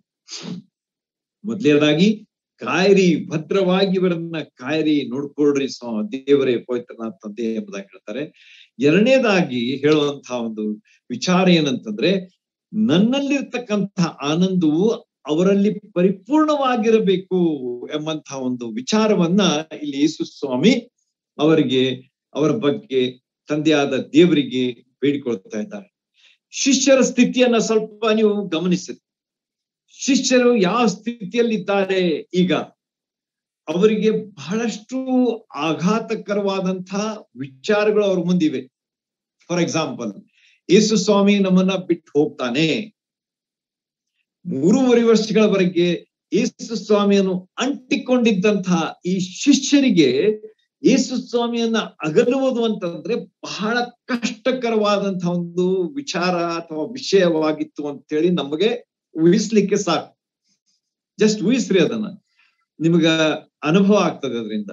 ಹೆಂಗ ಅವರ ಒಂದು ಸ್ಥಿತಿ ಯಾವಾಗ ಹೇಗಿರ್ಬೇಕು ಅನ್ನುವಂತ ಒಂದು ವಿಚಾರ ನಿಮಗ ಖಂಡಿತವಾಗಿ ಬರ್ತದೆ.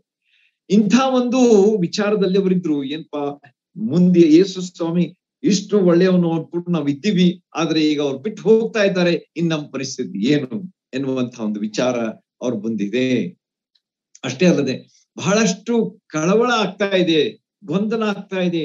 ತೊಂದರೆ ಅವರನ್ನ ಕಾಡ್ತಾ ಇದೆ. ಏನ್ಪಾ ಮುಂದೆ ನಮ್ಮ ಭವಿಷ್ಯವೇನು ಅಥವಾ ನಮ್ಮ ಮುಂದೆ ಮುಂದೆ ಮುಂದಿನ ಕಾಲದಲ್ಲಿ ಆಗ್ತಕ್ಕಂತ ವಿಷಯಗಳೇನು ಎಂಬಂತ ಸಂ ಸಂದಿಗ್ಧ ವಿಚಾರಗಳು ಅವ್ರ ಮುಂದೆ ಬಂದಿದ್ದಾವೆ. ಅಷ್ಟೇ ಅಲ್ಲದೆ ಯೇಸು ಸ್ವಾಮಿ ಹೇಳ್ತಾರೆ, ನಿಮ್ಮಲ್ಲಿ ಒಬ್ಬನು ನನ್ನನ್ನ ಹಿಡ್ಕೊಡ್ತಾನೆ ಎಂಬುದಾಗಿ ಮೇಲುಪರಿಗೆಯಲ್ಲಿ ಯೇಸು ಸ್ವಾಮಿ ಹೇಳಿದಂತ ಮಾತು ಸಹ ಅವರಿಗೆ ಸಾಕಷ್ಟು ಒಂದು ವಿಚಾರಕ್ಕೆ ಅವರನ್ನು ಒಳಪಡಿಸಿದ್ದು ನಮಗ ಕಂಡು ಬರ್ತದೆ. ಯಾಕಂದ್ರೆ ದಿ ಮಸ್ಟ್ ಬಿ ಥಿಂಕಿಂಗ್ ಯಾರು ಹಿಡಿದುಕೊಡ್ತಾರ ಹಂಗಾರೆ? ನಿಮ್ಮಲ್ಲಿ ಒಬ್ಬ ಅಂತ ಹೇಳಿ ಯೇಸು ಸ್ವಾಮಿ ಹೇಳಿರ, ಹೇಳಿದ್ದಾರೆ. ಹಾಗಾದ್ರೆ ಯಾರು ಹಿಡಿದುಕೊಡ್ತಾರೆ ಎಂಬಂತ ವಿಚಾರ ಸಹ ಅವರಿಗೆ, ಅವ್ರನ್ನ ಕಾಡ್ತಾ ಇರಬಹುದು ಹೀಗೆ ಅವು ಯೇಸು ಸ್ವಾಮಿ ಆ ಯೇಸು ಸ್ವಾಮಿ ಅವರು ಶಿಷ್ಯರ ಪಾದಗಳನ್ನ ತೊಳೆಯುವಾಗ ಅವ್ರಿಗೆ ಒಂಥರದ ಶಾಕ್ ಆಗಿರ್ಬೇಕು. ಏನಂತ ಹೇಳಿ, ನಾವು ಶಿಷ್ಯರಾಗಿದ್ದೇವೆ, ನಾವು ಯೇಸು ಸ್ವಾಮಿಯ ಪಾದಗಳನ್ನ ತೊಳೆಯಬೇಕು. ಅದನ್ನ ಬಿಟ್ಟು ಯೇಸು ಸ್ವಾಮಿ ನಮ್ಮ ಪಾದಗಳನ್ನು ತೊಳಿತಾ ಇದ್ದಾನಲ್ಲ ಎನ್ನುವಂತ ವಿಚಾರಕ್ಕೂ ಸಹ ಅವ್ರು ಒಳಗಾಗಿರ್ಬೇಕು.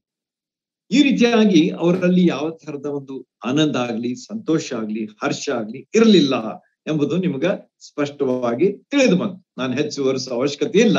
ಹೀಗೆ ಯೇಸು ಸ್ವಾಮಿ ಅಲ್ಲಿ ಇಂತ ಈ ಶಿಷ್ಯರಿಗೋಸ್ಕರವಾಗಿ ಆತನ ಏನ್ ಬಿಡ್ತಾನಂತಂದ್ರೆ, ನಾನೀಗ ಹೋಗ್ತಾ ಇದ್ದೇನೆ, ಆದ್ರೆ ನಾನು ಹೋದ್ಮೇಲೆ ನನ್ನ ಪರಿಪೂರ್ಣವಾದಂತಹ ಆನಂದ ಅವರಲ್ಲಿ ಉಂಟಾಗಬೇಕು, ಅವರಲ್ಲಿ ಇರಬೇಕು ಎಂಬುದಾಗಿ ತಂದೆಗೆ ಯೇಸು ಸ್ವಾಮಿ ಅಲ್ಲಿ ಬೇಡಿಕೊಳ್ತಾ ಇದ್ದಾರೆ. ನೋಡಿ ಎಷ್ಟು ವಿಶೇಷವಾದಂತಹ ಪ್ರಾರ್ಥನೆ ಇಲ್ಲಿ ಯೇಸು ಸ್ವಾಮಿ ಅವರು ತಮ್ಮ ಶಿಷ್ಯರಿಗೋಸ್ಕರವಾಗಿ ಮಾಡ್ತಾ ಇದ್ದಾರೆ. ಹಿಂಸೆ ಮುಂದಿದೆ ಕ್ರೂಜೆ ಅಲ್ಲಿ ಕಾಣ್ತಾ ಇದೆ. ಮತ್ತು ಎಲ್ಲವೂ ಸ್ಪಷ್ಟವಾಗಿ ಕಂಡ್ರು ಕೂಡ ಯೇಸು ಸ್ವಾಮಿಯ ಆನಂದ ಹೇಗಿತ್ತು? ಪರಿಪೂರ್ಣವಾಗಿತ್ತು. ಕ್ರೂಜೆ ಇದ್ರು, ಹಿಂಸೆ ಇದ್ರು, ಎಲ್ಲ ಅನ್ಯಾಯಗಳು ಅವ್ರ ಮುಂದೆ ಇದ್ರು, ಅವರು ಚಾಚು, ಮಿಸ್ ಕಾಡದೆ ಅಥವಾ ವಿಚಲಿತರಾಗದೆ ಪರಿಪೂರ್ಣವಾದಂಥ ಆನಂದ ಭರಿತರಾದಂಥ ವ್ಯಕ್ತಿಗಳು ಯೇಸು ಸ್ವಾಮಿಯವರು ಆಗಿದ್ರು ಅಂತ ಹೇಳಿ ನಮಗ ಈ ಭಾಗ ತಿಳಿಸಿಕೊಡ್ತದೆ. ಯಾಕೆ ಅಂತ ಹೇಳಿ ನಾವು ನೋಡುವಾಗ ಅವರು ಆ ಸ್ಥಿತಿಗತಿಗಳ ಮೇಲೆ ಅವಲ, ಅವಲಂಬಿಸ್, ಅವಲಂಬಿಸದೆ ಅವರು ಯಾರ ಮೇಲೆ ಅವಲಂಬಿಸಿದ್ದು ಅಂತಂದ್ರೆ ದೇವರ ಶಕ್ತಿಯ ಮೇಲೆ ಆತುಕೊಂಡದ್ರಿಂದ ಅದು ನಮಗ ಕೃಷಿಯ ಮೇಲೆ ಒಂದು ಜಯವನ್ನ ಸಾಧಿಸಿದಂತಹ ವಿಚಾರ ನಮಗ ಈ ಭಾಗ ತೋರಿಸಿ ಕೊಡ್ತದೆ. ಯೇಸು ಸ್ವಾಮಿ ಅವರು ಆ, ಇಡೀ ಲೋಕಕ್ಕೋಸ್ಕರವಾಗಿ ಪ್ರಾರ್ಥಿಸಿದ್ದು ಎಲ್ಲಿ ನಮ್ಗೆ ಕಂಡು ಬರ್ತದೆ ಅಂತಂದ್ರ ಕ್ರೂಜೆಯ ಮೇಲೆ. ಕ್ರೂಜೆಯ ಮೇಲೆ ಯೇಸು ಸ್ವಾಮಿ ಪ್ರಾರ್ಥಿಸ್ತಾ ಇದ್ದಾರೆ. ಯಾರ ಸಲುವಾಗಿ? ಈ ಲೋಕದ ಜನರಿಗೋಸ್ಕರವಾಗಿ. ಇವ್ರು ಏನ್ ಮಾಡ್ತಾ ಇದ್ದಾರೆ? ಇವರ, ಇವ್ರ, ಇವರ ಅರಿಯರು ಇವರನ್ನ ಕ್ಷಮಿಸು ಎಂಬುದಾಗಿ ಯೇಸು ಸ್ವಾಮಿ ಅವರು ಲೋಕಕ್ಕೋಸ್ಕರವಾಗಿ ಪ್ರಾರ್ಥನೆ ಮಾಡ್ತಾರೆ. ಆದ್ರೆ ಯೇಸು ಸ್ವಾಮಿ ಅವರು ತಮ್ಮ ಶಿಷ್ಯರಿಗೋಸ್ಕರವಾಗಿ ಏನ್ ಪ್ರಾರ್ಥನೆ ಮಾಡ್ತಾ ಇದ್ದಾರೆ ಅಂತಂದ್ರೆ, ನನ್ನ ಆನಂದ ಅವರಲ್ಲಿ ಪರಿಪೂರ್ಣವಾಗಬೇಕು ಎಂಬುದಾಗಿ ಯೇಸು ಸ್ವಾಮಿಯವರು ಅವರ ಸಲುವಾಗಿ ಪ್ರಾರ್ಥನೆ ಮಾಡ್ತಾ ಇದ್ದಾರೆ. ಫಿಲಿಪಿ ನಾಲ್ಕು, ನಾಲ್ಕರಲ್ಲಿ ನೋಡ್ತೇವೆ ನಾವು, ಪೌಲನು ಸಹ ಹೇಳ್ತಾನೆ ಏನಂತ ಹೇಳಿ ಕರ್ತನಲ್ಲಿ ಸಂತೋಷಿಸ್ರಿ, ಯಾವಾಗಲೂ ಕರ್ತನಲ್ಲಿ ಸಂತೋಷಿಸ್ರಿ ಎಂಬುದಾಗಿ. ತಿರುಗಿ ಹೇಳ್ತೇನೆ ಅಗೇನ್ ಐ ಸೇ ರಿಜಾಯ್ಸ್ ಎಂಬುದಾಗಿ ಇಲ್ಲಿ ಪೌಲನು ಸಹ ಹೇಳ್ತಾನೆ. ಅಂದ್ರೆ ಯೇಸು ಸ್ವಾಮಿಯವರ ಪರಿಪೂರ್ಣವಾದಂತಹ ಆನಂದ ಅದು ಯಾವ ರೀತಿಯಾಗಿ ಶಿಷ್ಯರಲ್ಲಿ ಇರಬೇಕು ಎಂಬಂತಹ ಯೇಸು ಸ್ವಾಮಿಯವರ ಚಿತ್ತವನ್ನ ನಾವು ಅಲ್ಲಿ ಕಾಣ್ತೇವೆ. ಯೋಹಾನ ಸ್ವಾರ್ಥಿ ಹದಿನಾರು ಮೂವತ್ ಮೂರಲ್ಲಿಯೂ ಸಹ ನಾವು ಯೇಸು ಸ್ವಾಮಿ ಅವರು ಹೇಳ್ತಾನೆ ಏನಂತ ಹೇಳಿ ಹೇಳ್ತಾರೆ, ಧೈರ್ಯವಾಗಿರಿ, ನಾನು ಲೋಕವನ್ನ ಜಯಿಸಿದ್ದೇನೆ. ನಿಮಗೆ ಬಹಳಷ್ಟು, ಆ, ಗೊಂದಲ ಇರಬಹುದು. ಈ ಲೋಕದಲ್ಲಿ ಸಂಕಟ ಉಂಟು ಎಂಬುದಾಗಿ ಆ ಭಾಗ ಹೇಳ್ತದೆ, ಹದಿನಾರು ಮೂವತ್ಮೂರು. ಆದರೆ ನಾನು ಲೋಕವನ್ನ ಜಯಿಸಿದ್ದೇನೆ ಎಂಬುದಾಗಿ ಯೇಸು ಸ್ವಾಮಿ ಹೇಳ್ತಾರೆ. ಅಂದ್ರೆ ನಿಮಗೆ ಆ ಸಂಕಟದ ಬಗ್ಗೆ ಬಹಳಷ್ಟು ಗೊಂದಲ ಇರಬಹುದು. ಆದ್ರೆ ಒಂದು ವಿಚಾರ ನೆನ್ಪಿಟ್ಕೊಳ್ರಿ, ನಾನು ಈ ಲೋಕವನ್ನ ಜಯಿಸಿದ್ದೇನೆ ಎಂಬುದಾಗಿ. ಅಷ್ಟೇ ಅಲ್ಲದೆ ಯೋಹಾನ್ ಸ್ವಾರ್ಥ ಹದಿನಾಲ್ಕನೇ ಅಧ್ಯಾಯ ಇಪ್ಪತ್ತೇಳನೇ ವಚನದಲ್ಲಿ, ಆ ಯೇಸು ಸ್ವಾಮಿ ಹೇಳ್ತಾರೆ ಏನಂತ ಹೇಳಿ ಶಾಂತಿಯನ್ನು ನಿಮಗೆ ಬಿಟ್ಟು ಹೋಗ್ತೇನೆ ಎಂಬುದಾಗಿ ಹೇಳ್ತಾರೆ. ನಾನು ಹೋಗ್ತೇನೆ ಆದ್ರೆ ನಿಮಗೆ ಶಾಂತಿಯನ್ನ ಬಿಟ್ಟು ಹೋಗ್ತೇನೆ ಎಂಬುದಾಗಿ ಯೇಸು ಸ್ವಾಮಿ ತಮ್ಮ ಶಿಷ್ಯರಿಗೆ ಹೇಳಿ ಅವರ ಮನಸ್ಸನ್ನ ಸಿದ್ಧಪಡಿಸುವಂತಹ ವಿಚಾರಗಳು ನಮಗೆ ಯೇಸು ಸ್ವಾಮಿಯರ ಮಾತುಗಳಲ್ಲಿ ಕಂಡು ಬರ್ತವೆ. ಲೋಕದಲ್ಲಿ ತುಂಬಾ ಸಮಸ್ಯೆಗಳಿದ್ರು ಎಲ್ಲಾ ಗ್ರಹಿಕೆಯನ್ನು ಮೀರುವ ಶಾಂತಿ ಅದೇನಾಗಿದೆ ಅಂತಂದ್ರೆ ಯೇಸು ಸ್ವಾಮಿಯಲ್ಲಿ ನಮಗ ಕಂಡು ಬರ್ತದೆ. ಆದ ಕಾರಣ ಈ ಒಂದು ಪ್ರಾರ್ಥನೆ ಯೇಸು ಸ್ವಾಮಿ ತಮ್ಮ ಶಿಷ್ಯರಿಗೋಸ್ಕರವಾಗಿ ಏನಿತ್ತು ಅಂತಂದ್ರೆ ಪರಿಪೂರ್ಣವಾದಂತಹ ಆನಂದ ನಾನು ಈ ಲೋಕ ಬಿಟ್ಟು ಹೋದ್ಮೇಲೆ ಅವರಲ್ಲಿ ಯಾವಾಗಲೂ ಇರಬೇಕು ಎಂಬುದಾಗಿ ಯೇಸು ಸ್ವಾಮಿಯವರು ಅವರಿಗಾಗಿ ಎರಡನೇ ಒಂದು ಪ್ರಾರ್ಥನೆಯಲ್ಲಿ ಎರಡನೇ ಅಂಶವನ್ನ ಮಾಡ್ತಾರೆ ಮೂರನೇ ಅಂಶ ಅಲ್ಲಿ ನಮಗ ಹದ್ನಾಲ್ಕರಿಂದ ಹದ್ನಾರು ವಚನಗಳಲ್ಲಿ ನಮಗ ಅದು ಕಂಡು ಬರ್ತದೆ. ನಾನು ಹದ್ನಾಲ್ಕರಿಂದ ಹದ್ನಾರು, ನಾನು ನಿನ್ನ ವಾಕ್ಯವನ್ನ ಇವರಿಗೆ ಕೊಟ್ಟಿದ್ದೇನೆ. ನಾನು ಲೋಕದವನಲ್ಲದೆ ಇರುವ ಪ್ರಕಾರ ಇವರೂ ಲೋಕದವರಲ್ಲ. ಆದ ಕಾರಣ ಲೋಕವು ಇವರ ಮೇಲೆ ದ್ವೇಷ ಮಾಡಿಯದೆ ಅವರನ್ನ ಲೋಕದೊಳಗಿಂದ ತೆಗೆದುಕೊಂಡು ಹೋಗಬೇಕೆಂದು ನಾನು ಕೇಳಿಕೊಳ್ಳುವುದಿಲ್ಲ. ತೆಡುಕನಿಂದ ತಪ್ಪಿಸಿ ಕಾಪಾಡಬೇಕೆಂದು ಕೇಳಿಕೊಳ್ಳುತ್ತೇನೆ ಎಂಬುದಾಗಿ ಮೂರನೇ ಒಂದು ಅಂಶ ಈ ಪ್ರಾರ್ಥನೆಯಲ್ಲಿ ನಮಗ ಯೇಸು ಸ್ವಾಮಿಯವರು ತಿಳಿಸಿಕೊಡ್ತಾರೆ. ಅದೇನಂತಂದ್ರೆ ತನ್ನ ಶಿಷ್ಯರ ಸುರಕ್ಷಿತತೆಗಾಗಿ ಇಲ್ಲಿ ಯೇಸು ಸ್ವಾಮಿ ಪ್ರಾರ್ಥಿಸ್ತಾ ಇದ್ದಾರೆ.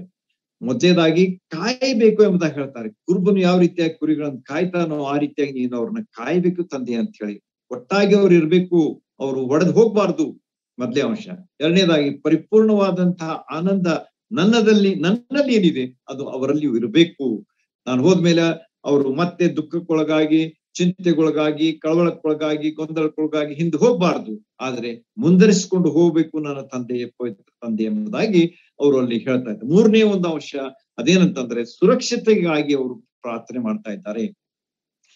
ಅವರು ಈ ಲೋಕದವರಲ್ಲ ಯಾಕಂದ್ರೆ ಯೇಸು ಸ್ವಾಮಿ ಅವರನ್ನ ನಂಬಿದಂತಹ ರಕ್ಷಣೆ ಹೊಂದಿದಂತಹ ಪಾಪಗಳಿಗಾಗಿ ಪಶ್ಚಾತ್ತಾಪಟ್ಟು ಈ ಸ್ವಾಮಿ ನಮಗೋಸ್ಕರವಾಗಿ ಆ ಶಿಲುಬೆ ಮೇಲೆ ತನ್ನ ಪ್ರಾಣ ಕೊಟ್ಟನು ಎಂಬುದಾಗಿ ನಾವು ನಂಬುವಾಗ ಏನಾಗ್ತದೆ ಅಂತಂದ್ರೆ ನಾವು ಈ ಲೋಕದವರಲ್ಲ. ಪರಲೋಕ ರಾಜ್ಯದವರಾಗ್ತೀವಿ ನಾವು. ಯಾಕಂದ್ರೆ ನಮ್ಮ ನಿರೀಕ್ಷೆ ಅದು ಬದಲಾಗಿ ಹೋಗ್ಬಿಡ್ತದೆ. ಈ ಲೋಕದಲ್ಲಿ ನಾವು ಇರ್ಬೇಕು, ಈ ಲೋಕದಲ್ಲಿ ದೊಡ್ಡವರಾಗಬೇಕು, ಈ ಲೋಕದಲ್ಲಿ ಎಲ್ಲಾ ನಮಗೆ ಇರಬೇಕು ಅನ್ನುವಂತಹ ವಿಚಾರ ಹೋಗಿ ನಾವು ಪರಲೋಕ ರಾಜ್ಯಕ್ಕಾಗಿ, ನೀತಿಗಾಗಿ ತೋಕ ಪಡುವಂತಹ ವ್ಯಕ್ತಿಗಳಾಗ್ತೇವೆ ಎಂಬುದಾಗಿ ನಾನು ಹೇಳುವುದರ ಅವಶ್ಯಕತೆ ಇಲ್ಲ. ಎಲ್ಲರ ಒಂದು ಅನುಭವ ಯೇಸು ಸ್ವಾಮಿ ಅವ್ರನ್ನು ಕಂಡುಕೊಂಡಂತವರ ಅನುಭವ ಇದಾಗಿದೆ. ಆದ ಕಾರಣ ಯೇಸು ಸ್ವಾಮಿ ಹೇಳ್ತಾರೆ ಏನಂತೇಳಿ, ಇವರು ಸಹ ಈ ಲೋಕದವರಲ್ಲ. ಆದ ಕಾರಣ ಈ ಲೋಕದವರು ಏನ್ ಮಾಡ್ತಾರೆ? ಅವರನ್ನ ಹಾಗೆ ಮಾಡ್ತಾರೆ. ಕಾರಣ ಲೋಕದವರಲ್ಲ. ಆದ ಕಾರಣ ಈ ಲೋಕದವರು ಅವರನ್ನ ಲೈಕ್ ಮಾಡೋದಿಲ್ಲ ಅಥವಾ ಅವರನ್ನ ಬಯಸುದಿಲ್ಲ ಅವರನ್ನ ತಿರಸ್ಕರಿಸ್ತಾರೆ, ಹಾಗೆ ಮಾಡ್ತಾರೆ, ದ್ವೇಷ ಮಾಡ್ತಾರೆ ಎಂಬುದಾಗಿ ಯೇಸು ಸ್ವಾಮಿ ಅಲ್ಲಿ ಹೇಳ್ತಾ ಇದ್ದಾರೆ. ಕೆಡುಕನಿಂದ ಅವರನ್ನ ತಪ್ಪಿಸು, ಕುರುಬನ ಹಾಗೆ ಅವರನ್ನ ಕಾಯು. ಹಿಂಸೆ ಬಂದ್ರು ಸಹ ಅವರು ಏನಾಗಬಾರದು ಅಂತಂದ್ರೆ ಹಿಂದೆರೆದು ಹೋಗ್ಬಾರ್ದಂತೆ ಅವರನ್ನ ಸ್ವಾಮಿ ನೀನು ಕಾಯಬೇಕೆಂಬುದಾಗಿ, ಸುರಕ್ಷಿತವಾಗಿ ಅವರನ್ನ ಇಡಬೇಕೆಂಬುದಾಗಿ ನಿನ್ನ ಹತ್ರ ಬೇಡಿಕೊಳ್ತೇನೆ ಎಂಬುದಾಗಿ ಯೇಸು ಸ್ವಾಮಿ, ಆ, ಅಲ್ಲಿ ಪ್ರಾರ್ಥನೆ ತನ್ನ ಶಿಷ್ಯರಿಗೋಸ್ಕರವಾಗಿ ಮೂರನೇ ಅಂಶವಾಗಿ ಬೇಡಿಕೊಳ್ತಾ ಇದ್ದಾರೆ. ಅಪ್ಪಸ್ತಲರ ಕೃತ್ಯಕ್ಕೆ ನಾವು ಬರುವಾಗ ಅಲ್ಲಿ ನಾವು ನೋಡ್ತೇವೆ ಯಾವ ರೀತಿಯಾಗಿ ಶಿಷ್ಯರ ಸೇವೆ ಮುಂದರಿಯಿತು ಅಂತ ಹೇಳಿ. ಪೇತ್ರನ ಸೇವೆ, ಯೋಹಾನ್ನ ಸೇವೆ, ಆಮೇಲೆ ಪೌಲನ ಸೇವೆ, ಬೇರೆ ಬೇರೆ ಕ್ರಿಸ್ತ ಯೇಸು ಸ್ವಾಮಿಯವರ ಶಿಷ್ಯರ ಸೇವೆ, ಫಿಲಿಪ್ಪನ ಸೇವೆ, ಅನೇಕ ರೀತಿಯಲ್ಲಿ ಅವರು ಮುಂದರಿಸಿಕೊಂಡು ಹೋದ್ರು. ಯಾವ ರೀತಿಯಾಗಿ ತೋಮನು ನಮ್ಮ ದೇಶಕ್ಕೆ ಬಂದು ಸ್ವಾರ್ಥನ ಸಾರಿ ನಮ್ಮ ದೇಶದಲ್ಲಿ ಅನೇ ಈಗ ಈಗ ನಾವು ಇರ್ತಕ್ಕಂಥ ಕ್ರೈಸ್ತರು ಯಾವ ರೀತಿಯಾಗಿ ಕಂಡು ಬರ್ತಾರೆ, ಕಂಡು ಬಂದಿದ್ದಾರೆ ಎಂಬುದನ್ನು ಸಹ ನಾವು ನಾವು ಅನುಭವಿಸಿದ್ದೇವೆ. ಈ ರೀತಿಯಾಗಿ ಯೇಸು ಸ್ವಾಮಿ ಅವರು ತನ್ನ ಶಿಷ್ಯರಿಗೋಸ್ಕರವಾಗಿ ಮಾಡಿದಂತ ಪ್ರಾರ್ಥನೆ, ಅದು ಬಲವಾದಂತಹ ಒಂದು ಪ್ರಾರ್ಥನೆ ಆಗಿತ್ತು. ದೇವರು ಅದನ್ನ ನೆರವೇರಿಸಿಕೊಟ್ಟದ್ದನ್ನ ಶಿಷ್ಯರ ಜೀವನದಲ್ಲಿ ನಾವು ಸ್ಪಷ್ಟವಾಗಿ ನೋಡ್ತೇವೆ. ಆದ್ರೆ, ನಾವು ಇನ್ನು ಒಂದು ಅಂಶವನ್ನ ಅಲ್ಲಿ ಗಮನಿಸ್ಬೇಕು. ಅದೇನಂತಂದ್ರೆ ಈ ಒಂದು ಶಿಷ್ಯರು ಯಾವ ರೀತಿಯಾಗಿ ಮನಪೂರ್ವಕವಾಗಿ ಅವರು ವಿಧೇಯರಾದಾಗ ಅದ್ಭುತವಾದಂತಹ ಆಶೀರ್ವಾದವನ್ನ ಕಂಡುಕೊಂಡ್ರು. ಆದ್ರೆ ಅವರು ಲೋಕದ ವಿಚಾರಗಳಿಗೆ ಒಳಗಾಗಿ ದೂಷಣೆಗೊಳಗಾದಾಗ ಅಂತಂದ್ರೆ ಅವರು ಪೊಲ್ಯೂಷನ್ ಬಂತ ಅವರ ಜೀವನದಲ್ಲಿ. ಅಂದ್ರೆ ಕಲ್ಮಶ ಅವರ ಜೀವನದಲ್ಲಿ ಸೇರಿಕೊಂಡಿತು ಫಾರ್ ಎಕ್ಸಾಂಪಲ್ ಅನನಿಯ ಸಫೈರಳ ವಿಷಯವಾಗಿ ನಾವು ನೋಡುವಾಗ ಅವರು ಮಾಡಿದಂತಹ ಒಂದು ಕಾರ್ಯ ಅದು ಎಷ್ಟು ದೇವರಿಗೆ ವಿರುದ್ಧವಾದಂತ ಕಾರ್ಯ. ದೇವರಿಗೆ, ದೇವರ ಮುಂದೆ ಅವರು ಸುಳ್ಳು ಹೇಳ್ತಾ ಇದ್ದಾರೆ. ಏನಂತ ಇಷ್ಟೇ ಬೆಲೆಗೆ ನಾವು ಅದನ್ನ ತೆಗೆದುಕೊಂಡು ಬಂದೀವಿ ಎಂಬುದಾಗಿ ಹೇಳಿದಾಗ ಅವ್ರ ಸ್ಥಿತಿ ಏನಾಯ್ತು ಅಂತ ಹೇಳಿ ನಮಗ ಪುಸ್ತಕ ಹೇಳುತ್ತದೆ ನೋಡ್ರಿ, ಒಂದ್ ಕಡೆಗೆ ಒಳ್ಳೆ ರೀತಿಯಲ್ಲಿ ದೇವರ ಸೇವೆ ನಡೀತಾ ಇದೆ. ಸಾವಿರಾರು ಜನರು ರಕ್ಷಿಸಲ್ಪಡ್ತಾ ಇದ್ದಾರೆ. ಸಭೆಗೆ ದಿನಾಲೂ, ಆ ವಿಶ್ವಾಸಿಗಳು ಸೇರಲ್ಪಡ್ತಾ ಇದ್ದಾರೆ ಎಂಬುದಾಗಿ ಅಪಸ್ತ್ರ ಕೃತ್ಯ ನಮಗೆ ಹೇಳ್ತದೆ. ಆದ್ರೆ ಅದೇ ಸಂದರ್ಭದಲ್ಲಿ ದೂಷಣೆಗೆ ಒಳಗಾದಂತಹ ಜನರ ಹೃದಯ ಯಾವ ರೀತಿಯಾಗಿ ಕಲ್ಮಶಕ್ಕೆ ಅದು ಒಳಗಾಯ್ತು ಆಗ ಏನಾಯ್ತು ಅಂತ ಹೇಳಿ ನಮಗ ಅದು ಕೂಡ ಕಂಡು ಬರ್ತದೆ. ಆದ ಕಾರಣ ದೃಢೀ, ದೃಢ, ದೃಢೀಕರಿಸಲ್ಪಟ್ಟಂತಹ ಸೇವೆ ಅದು ಬಹಳ ಮುಖ್ಯವಾದದ್ದು, ಅದು ಫಲಕಾರಿಯಾಗಿರುತ್ತದೆ ಎಂಬುದನ್ನ ಈ ಭಾಗ ನಮಗ ತಿಳಿಸ್ಕೊಡ್ತದೆ. ಅನನೀಯರ ಸಫಲರ ಒಂದು ಉದಾಹರಣೆಯಿಂದ ನಾವು ದುರಾಶೆಗೆ ಒಳಗಾದಂತ ಆ ಶಿಷ್ಯರು ಯಾವ ರೀತಿಯಾಗಿ ಹಾಳಾಗಿ ಹೋದ್ರು ನಾಶವಾಗಿ ಹೋದ್ರು ಅಂತ ಹೇಳಿ ಆದ ಕಾರಣ ಅವರನ್ನ ಸುರಕ್ಷಿತವಾಗಿ ಕಾಯಿ ಸ್ವಾಮಿ. ಇಂಥ ವಿಷಯಗಳಿಗೆ ಒಳಗಾಗದಂತೆ ಅವರನ್ನ ಕಾಯ್ದು ಕಾಪಾಡಿ ಅವರನ್ನ ಉಪಯೋಗಿಸ್ಕೊಳ್ಬೇಕಂತ ಎಂಬುದಾಗಿ ನಾನು ಕೇಳಿಕೊಳ್ತೇನೆ ಅಂತ ಹೇಳಿ ಸ್ವಾಮಿ ಹೇಳ್ತಾರೆ. ಕೊನೆಯದಾಗಿ ನಾನು ಹೇಳಿ ಮುಗಿಸ್ತೇನೆ. ಸಮಯ ಆಗಿದೆ. ಅದೇನಂತಂದ್ರೆ ಹದಿನೇಳನೇ ವಚನದಲ್ಲಿ ನಾವು ಅದರ ಬಗ್ಗೆ ಓದ್ತೇವೆ. ಇವರನ್ನ ಸತ್ಯದಲ್ಲಿ ಸೇರಿಸಿ ಪ್ರತಿಷ್ಠೆಪಡಿಸು. ನಿನ್ನ ವಾಕ್ಯವೇ ಸತ್ಯವು ಎಂಬುದಾಗಿ ಈ ಭಾಗ, ಈ ಭಾಗದಲ್ಲಿ ಯೇಸು ಸ್ವಾಮಿಯವರ ಪ್ರಾರ್ಥನೆಯ ಒಂದು ನಾಲ್ಕನೇ ಅಂಶ ಮತ್ತು ಕೊನೆಯ ಅಂಶ ಶಿಷ್ಯರಿಗೋಸ್ಕರವಾಗಿ ಬೇಡಿಕೊಂಡದ್ದು ನಮಗ ಕಂಡು ಬರ್ತದೆ ಅದೇನಂತಂದ್ರೆ ಪ್ರತಿಷ್ಠೆ ಪಡಿಸು ಎಂಬುದಾಗಿ ಯೇಸು ಸ್ವಾಮಿ ತಮ್ಮ ಶಿಷ್ಯರಿಗೋಸ್ಕರವಾಗಿ ಬೇಡ್ತದೆ. ಇವರನ್ನ ಸತ್ಯದಲ್ಲಿ ಸೇರಿಸಿ ಪ್ರತಿಷ್ಠೆ ಪಡಿಸು ನಿನ್ನ ವಾಕ್ಯವೇ ಸತ್ಯವು ಎಂಬುದಾಗಿ ಅವ್ರ ಬಗ್ಗೆ ಯೇಸು ಸ್ವಾಮಿ ಹೇಳ್ತಾ ಇದ್ದಾರೆ. ಪ್ರತಿಷ್ಠೆ ಪಡಿಸುದು ಅಂತಂದ್ರೇನು? ನಾನು ಈಗಾಗಲೇ ಹೇಳ್ತೇನೆ ಸೆಟ್ ಅಪಾರ್ಟ್ ಪವಿತ್ರತೆಯಲ್ಲಿ ಮುಂದರಿಯುವಂಥದ್ದು ಅದು ಒಂದು ಪ್ರತ್ಯೇಕಿಸಲ್ಪಟ್ಟಂತಹ ಒಂದು ವಿಷಯ. ಅದು ಎಲ್ಲಕ್ಕೂ ಹೆಚ್ಚಿನದು. The most important thing in our life is holy life ಯಾವ ರೀತಿಯಾಗಿ? Be holy as I am holy ಎಂಬುದಾಗಿ ನಾವು ಪೇತ್ರನ ಪತ್ರದಲ್ಲಿಯೂ ಸಹ ಹೇಳಿದ್ದನ್ನು ನಾವು ನೋಡ್ತೀವಿ. ದೇವರು ಪವಿತ್ರನಾಗಿರುವ ಕಾರಣ ನೀವು ಸಹ ಪವಿತ್ರನಾಗಿರಬೇಕು ಎಂಬಂತಹ ವಿಚಾರವನ್ನ ಮತ್ತು ಇನ್ನೂ ಅನೇಕ ಭಾಗಗಳಲ್ಲಿ ಅದನ್ನ ನಾವು ಕಾಣ್ತೇವೆ. ಹೀಗೆ ನಾವು ಯಾವಾಗ ನಾವು ಈ ಲೋಕದಲ್ಲಿರುವಾಗ ಪ್ರತ್ಯೇಕಿಸಲ್ಪಟ್ಟಂತಹ ಪ್ರತಿಷ್ಠೆಯ ಜೀವನ, ಪವಿತ್ರತೆಯ ಜೀವನ ಅದನ್ನ ನಾವು ತಿಳ್ಕೊಂಡಿರಬೇಕು. ಈ ಲೋಕದ ವಿಷಯಗಳಿಂದ ನಿಯಂತ್ರಿಸಲ್ಪಟ್ಟಂತಹ ಒಂದು ಜೀವನ ಅಲ್ಲ, ಆದ್ರೆ ಪ್ರೀತಿಯನ್ನ ಆಧರಿಸಿದಂತಹ ತತ್ವದ ಮೇಲೆ ಇರ್ತಕ್ಕಂತಹ ಒಂದು ಜೀವನ ಅದು ಯಾವಾಗಲೂ ನಮ್ಮನ್ನ ಪವಿತ್ರತೆಯ ಕಡೆಗೆ ನಡೆಸ್ತದೆ. ನಿಸ್ವಾರ್ಥ ಜೀವನ ಅದು ನಮ್ಮನ್ನ ಪವಿತ್ರತೆಯ ಕಡೆಗೆ ನಡೆಸ್ತದೆ ಯಾವಾಗಲೂ. ಆದ ಕಾರಣ ಈ ಒಂದು ಅಂಶವನ್ನು ನಾವು ತಿಳ್ಕೊಂಡಿರ್ಬೇಕು. ಅಲ್ಲಿ ಪ್ರೀತಿ ಇರುವುದಿಲ್ಲ, ಅಲ್ಲಿ ಎಲ್ಲಾ ಸಮಸ್ಯೆಗಳು ಶುರು ಆಗ್ತವೆ. ಎಲ್ಲಿ ಪ್ರೀತಿ ಇರ್ತದೆ, ಅಲ್ಲಿ ನಾವು ಅದ್ಭುತವಾದಂತಹ ವಿಷಯಗಳನ್ನ ನಾವು ನೋಡಿದ್ದೇವೆ ಈಗಾಗಲೇ. ಮೊದಲೇ ಕುರಿತ ಹದಿಮೂರನೇ ಅಧ್ಯಾಯ, ಅಲ್ಲಿ ಬರ್ತಕ್ಕಂತಹ ಹದಿಮೂರು, ಹದಿನಾಲ್ಕು ವಚನಗಳಲ್ಲಿ ನಾವು ಅದನ್ನ ಓದಿದ್ದೇವೆ. ಯಾವ ರೀತಿಯಾಗಿ ಪ್ರೀತಿಯ ಒಂದು ವಿಷಯ ಅದು ನಮ್ಮನ್ನು ಅದ್ಭುತವಾದ ರೀತಿಯಲ್ಲಿ ಕಾಯ್ತದೆ, ನಡೆಸ್ತದೆ, ಕಾಪಾಡ್ತದೆ. ಅದೇ ರೀತಿಯಾಗಿ ಇಲ್ಲಿ ದೇವರು ಯಾ, ದೇವರಿಗೆ ಯೇಸು ಸ್ವಾಮಿ ಅವರು ಪ್ರಾರ್ಥನೆ ಮಾಡ್ತಾ ಇದ್ದಾರೆ. ಏನಂತ ಹೇಳಿ ನನ್ನ ಶಿಷ್ಯರನ್ನ ಸ್ವಾಮಿ, ನೀನು ಕಾಯು. ಅವರನ್ನ ಪ್ರತಿಷ್ಠೆ ಅವರನ್ನು ಪ್ರತ್ಯೇಕಿಸು. ಅವರನ್ನ ಪರಿಶುದ್ಧ ಜೀವಿತದಲ್ಲಿ ಜೀವಿಸುವುದಕ್ಕೆ ಅವರಿಗೆ ಸಹಾಯ ಮಾಡು. ಆಯ್ದ ಪಾತ್ರೆಗಳನ್ನಾಗಿ ಚೋಸನ್ ವೆಸಲ್ಸ್ ಎಂಬುದಾಗಿ ಅವರನ್ನು ಉಪಯೋಗಿಸು ಎಂಬುದಾಗಿ ಇಲ್ಲಿ ಅವರು ಹೇಳ್ತಾ ಇದ್ದಾರೆ. ಆದ ಕಾರಣ ಪವಿತ್ರಾತ್ಮನು ಯಾವಾಗಲೂ ನಮ್ಮ ಜೀವನದಲ್ಲಿ ಇರುವಾಗ ಅದು ಎಷ್ಟು ಅದ್ಭುತವಾದಂತಹ ಫಲಗಳನ್ನ ನಮ್ಮ ಜೀವನದಲ್ಲಿ ನಾವು ಕಣ್ಲಿಕ್ಕೆ ಕಾಣ್ಲಿಕ್ಕೆ ಸಾಧ್ಯವಾಗ್ತದೆ. ಪ್ರತ್ಯೇಕಿಸಲ್ಪಟ್ಟವರಾಗಿ, ಪವಿತ್ರರಾಗಿರಲಿ ಎಂಬುದಾಗಿ ಯೇಸು ಸ್ವಾಮಿ ಅವರ ಬಗ್ಗೆ ನಾಲ್ಕನೇ ಒಂದು ಅಂಶವನ್ನ ಹೇಳಿದ್ದಾರೆ. ಕೇವಲ ಆತನಲ್ಲಿದ್ದೇವೆ ಎಂಬುದು ಅಲ್ಲ, ಆದ್ರೆ ಭಕ್ತರೆಂದು ಕರೆಸಿಕೊಳ್ಳುವುದು ಅಲ್ಲ.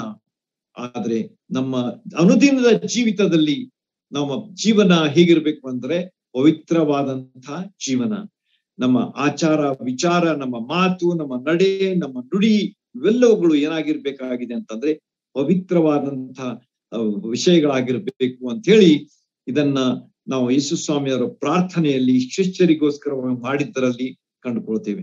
ಎರಡು ಸಾವಿರ ವರ್ಷಗಳ ಹಿಂದೆ ನಾವು ಯೇಸು ಸ್ವಾಮಿಯವರು ತಮ್ಮ ಶಿಷ್ಯರಿಗಾಗಿ ಮಾಡಿದಂತ ಪ್ರಾರ್ಥನೆಯಲ್ಲಿ ಎಷ್ಟು ವಿಶೇಷವಾಗಿ ಪವಿತ್ರವಾದಂತಹ ಜೀವನದ ಬಗ್ಗೆ ಅವರು ಹೇಳಿದ್ದಾರೆ.